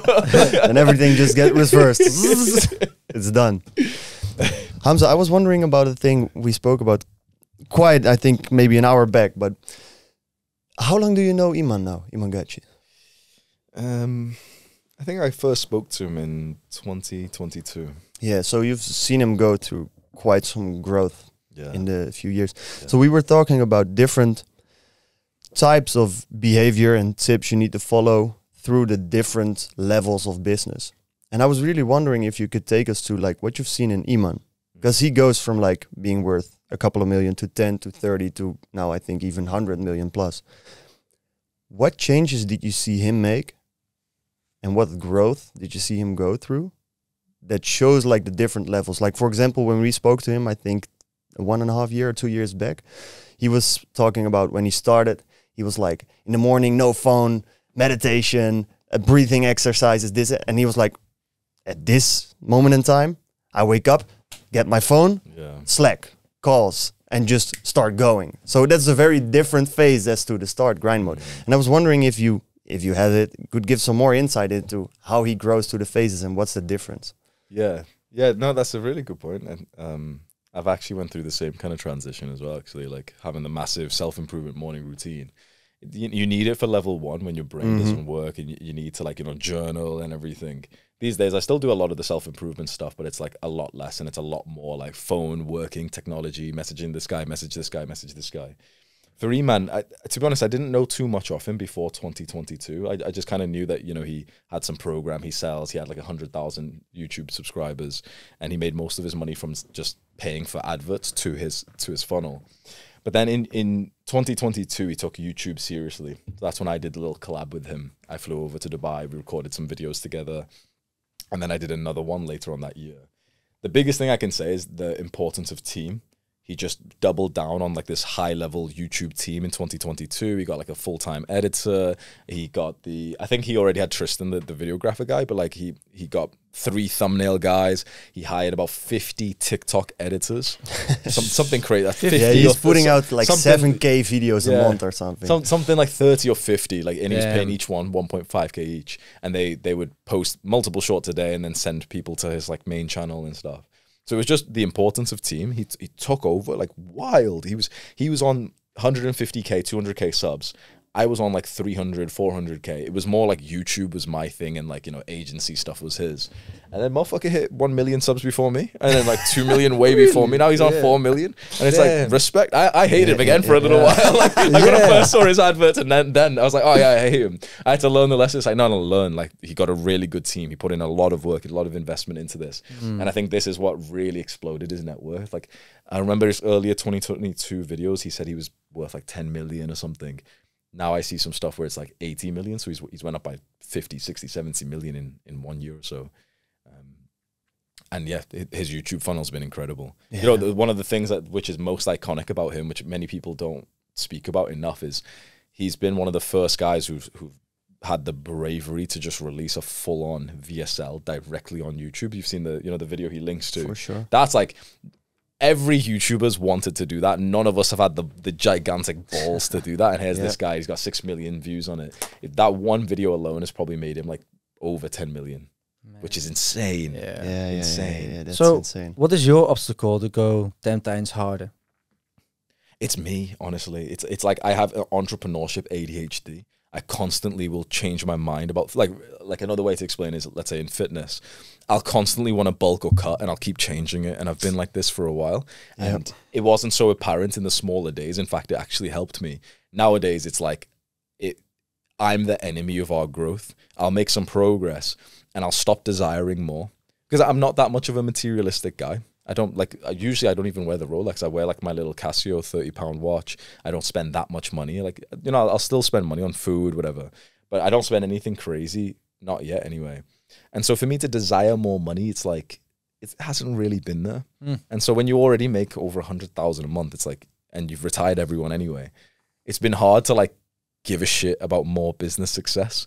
So all of it, like I'm the constraints. I'm like the guy who's running around the business, setting fires to stuff, and like randomly turning off all the, the power plant that we have on.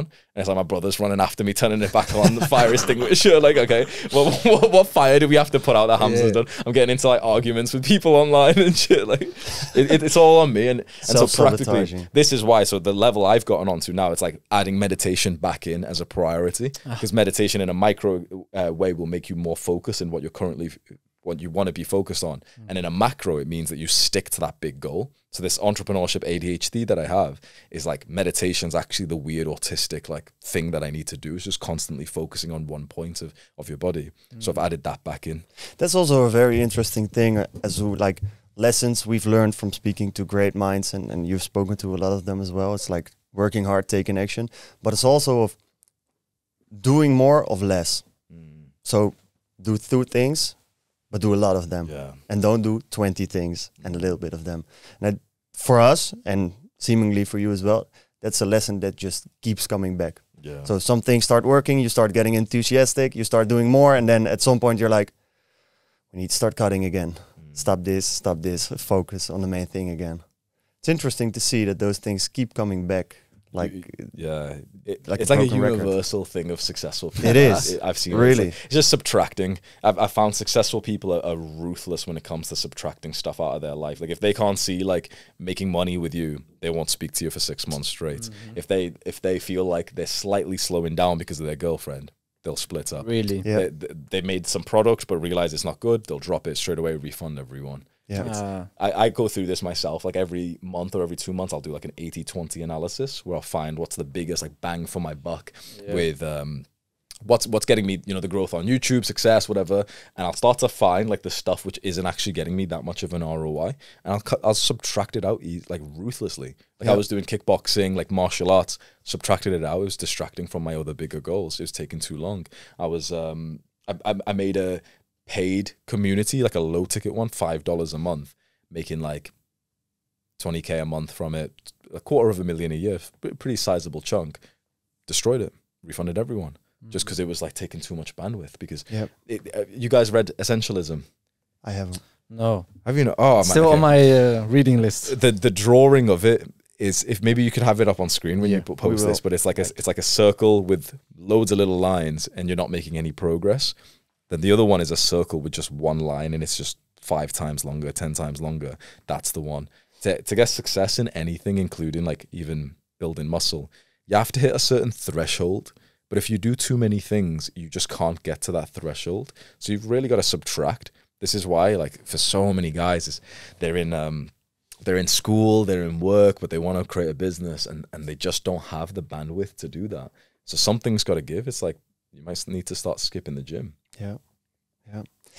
So, one of the last things I was wondering about, I think it could be very interesting. What is a peasant behavior you still like do or enjoy? Oh, I like chocolate, bro. Chocolate. I love, I love chocolate. Like uh, last um last week, I've been having like my mom goes out and buys like you know the fanciest boxes of chocolate in like the nice superstore where like it's a selection and everything. One or or three of those with like a cup of tea or coffee or something. I love that stuff, bro. I, I'm like I'm a big eater, bro. I always have been. So that's always been my worst habit. Is like every now and then I'll have like a week or so where I'll I'll go to like a lot of bakeries, cafes, get a lot of desserts and stuff. Or I I do it in like a non-dirty degenerate way. So there's mm. like dirty degenerate. It's like oh, you go to the store, you just buy the normal chocolate bar, you eat it like a goblin next to the TV or something. If you ever saw me eating chocolate, you'd you'd think I was like an interesting person. Like I literally I stare at it. I'll take like the tiniest bite, then I'll like melt it with the coffee or something. I'll sit there with my mm-hmm. eyes closed and everything, and it, I love it. But it's like it ends up giving me like spots and stuff because I usually only eat meat. Mm. So I notice the difference now. If I have like ten grams of sugar. I notice, and I'm I'm just thinking like, damn, people live like that. People live with with 100 grams a day. So I've, I've cut that out again, but it'll, it'll only be like a few more days before I go back on. You've become the refined degenerate. yeah, yeah, basically, yeah. It, it- nothing, nothing crazy these days, to be honest. That, probably that's one of my like worst peasant behaviors. Anything else? What, what else can I expose? Yeah, like I mean, every now and then I'll drink and stuff. Not not much. I didn't drink at all in 2023. Like I don't I don't think I even apart from New Year's, I didn't drink through the entire year. And in this year, I actually made a weird um, resolution, like a, a goal to actually drink a little bit more. Nothing crazy, nothing dirty, beer or whatever. But I want to have like some more late nights, some, some more social events. I want to go on dates and have some wine and stuff. I'm not going to like, you know, get drunk or anything. But I, I miss that. I miss being like a normal human being who goes out and like stays up past his bedtime. I was telling you guys, like, I, I go to sleep like 6 p.m. for like six months straight and I just made like over a million dollars in the last few months. It's like, let me just stay up past 8 p.m., bro. Like, yeah, yeah. Sometimes you have to be a little chaotic. yeah. You have to be a little bit that uh, that beast, right? Yeah. And I think maybe with your uh, with Adonis, right? If you meet up with the other guys, be very productive. Do so uh, do awes- awesome things, and then maybe the last hour do some drinks. You never know Yeah. what what that uh, will I've- bring, of course. I've noticed that like the most disciplined, successful individuals I know are also by choice sometimes the biggest degens there Yeah. are drinking Yeah. liters of vodka and just going all out. And I think that's the the thing for a lot of entrepreneur successful peoples. They're they're living in extremes. Mm. Yeah, Can be very Oh, good extremes. 100%, But there can be some detrimental extremes as well. Yeah. I don't know a single balanced successful guy. No. Not at all. Never met one. It- like a lot of like brokies talk about, oh, you need balance, moderation, and stuff. Never heard a rich guy say that, unless he's lying to the peasants to like make him like him. But like, never seen a rich guy live like that. It's always like like you've seen with Iman's monk modes and stuff. It's like mm-hmm. I didn't I didn't get a haircut for six months last month last year. For six months, I looked like a like a five out of ten or something, bro. Like my beard's all groomed out, neck hair and stuff. Yeah. Didn't even go to the gym. Just did little workouts at home to so I could work fourteen hours a day on my business. Mm. And then it's like, okay, I'm going to Bali to be a degenerate for like two months. I'm going to go smoke weed. I'm going to have cafes, whatever. Yeah. It, it, it, it's crazy. I've never seen a balanced, successful guy. No. and how much they say like, oh, moderation is key and stuff. They are they are sober than drunk. Mm. They're Yeah, never yeah, like yeah, a yeah, yeah. you know There's no in nine to five. Ah, I'll work for a balanced amount of hours. Nah, No. they wake up and work till they go to sleep. I think that's the thing also with like those type of people is knowing yourself well enough to know if I start, I'm not gonna drink for a whole year mm. because of if I start, I don't stop. So it's better just to not yeah. drink at all. It's like all in or all out. There's no Mm. in between. Like it's like the same when uh, you used to have like the old wars, and then you're gonna um like have you seen uh, the series Vikings? No. No. Uh, the Vikings are gonna rob the English people, but they will will be like out for like six months, a year, sometimes even multiple years, and then they are like on war. But when they come back, they relax, they drink, they do mm. stuff, and I think like the same is for for us, right? For men, like you have moments that you really have to focus, and then you really have to deep dive in. In the weekends, you also just have to work, but maybe once a month or once like every three mm. months, go out, go crazy, be a beast, and then then you're like rest again, and you go out and work again. Like it, I think it's like a circle. Every three months or so would be good for you, right? Maybe I think we have that sometime. also, right? for sure. We work a lot, and then every now and then we go really crazy. And I think that makes for a better life experience as well. Because I'm the mundaneness of like a nine to five, where it's all basically the same, maybe with a little bit of like a hype for the Friday or something, and then that's that's it. Your days disappear. There's no period that you look back to like, mm. whoa, that was Yes, intense. that's the So there's times where I've worked out three hours a day. And I'll always look back to those moments. I've always got stories to tell. Like my hands were like kind of like now, like my, my Yeah, hands were bleeding. I had scars and everything. I was jack. I was so lean and everything. I'll always look back to that. Then there's times where I partied really hard and I was so social and you know I was surrounded by friends and stuff. If you've just had the same exact mundane grey experience all throughout, it's like you miss out the flavor. Like if you mm-hmm. imagine all the flavor you're ever gonna taste in your life, if it was all mixed into one clump and you just had that, it, it wouldn't be special. No, But it's the variety that makes it so. it That's is true, That's true. One last thing. Um, you are going to America to Alex and Sam. Um, what is, what are the things that you're gonna do there? We already know that. So we've got we uh, March 30th, one day with Hormozi. So we go to his new office that they've just built, spend a day there talking about Skool. And they said um, they're going to record like a nice clip of him getting like a big trophy, passing it to me and stuff. So that'll be kind of fun Very to cool. record. And then, uh, yeah, I'll spend like the day with the, those guys, with the other Skool winners as well. And then around that time, I think I'll fly off to Austin to go see Chris Williamson as well Ah, and go nice. do his podcast again because I was on it on like 200k and he's Really? got 1.5 million. He's growing done rapidly as so well. So Yeah. hard, man. So It's interesting to see all those guys find their own niche as well. Mm. Like Diary of a CEO, then Christian Williamson, Huberman, all just finding their own pockets to fit in. Yeah, it's incredible growth. They've been on Yeah. Joe Rogan twice as well, so I can't wait to go Yeah, speak to him again. Yeah, yeah, yeah, yeah, yeah. Would you You- like to be on Rogan sometime? I, I've, I've got imposter syndrome. I don't know what I'd talk about, bro. Yeah, so you, you know, you could work hard, bro. Like, like, there's a real man who hunts and stuff, and here I am, like, yeah. you know. So one time I was doing push-ups and like,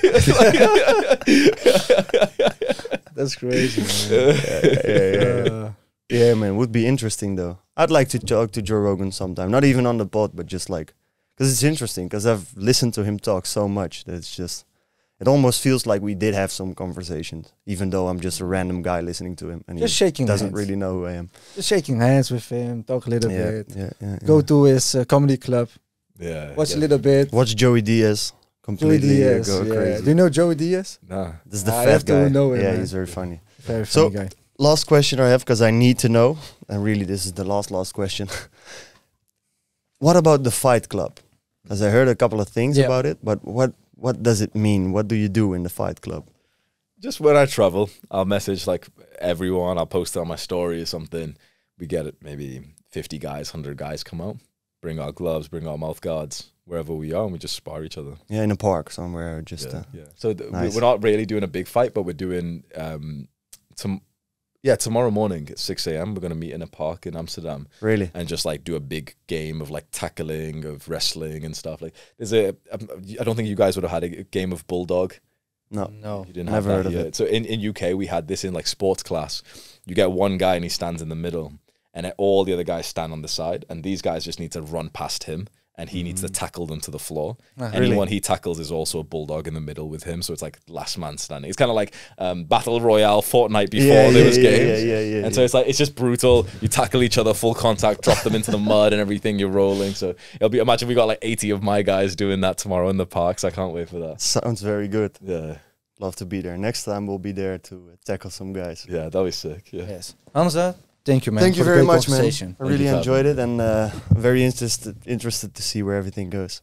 Thank you Good so much luck. for having me. Until next time. Nice. To the next one. Ciao.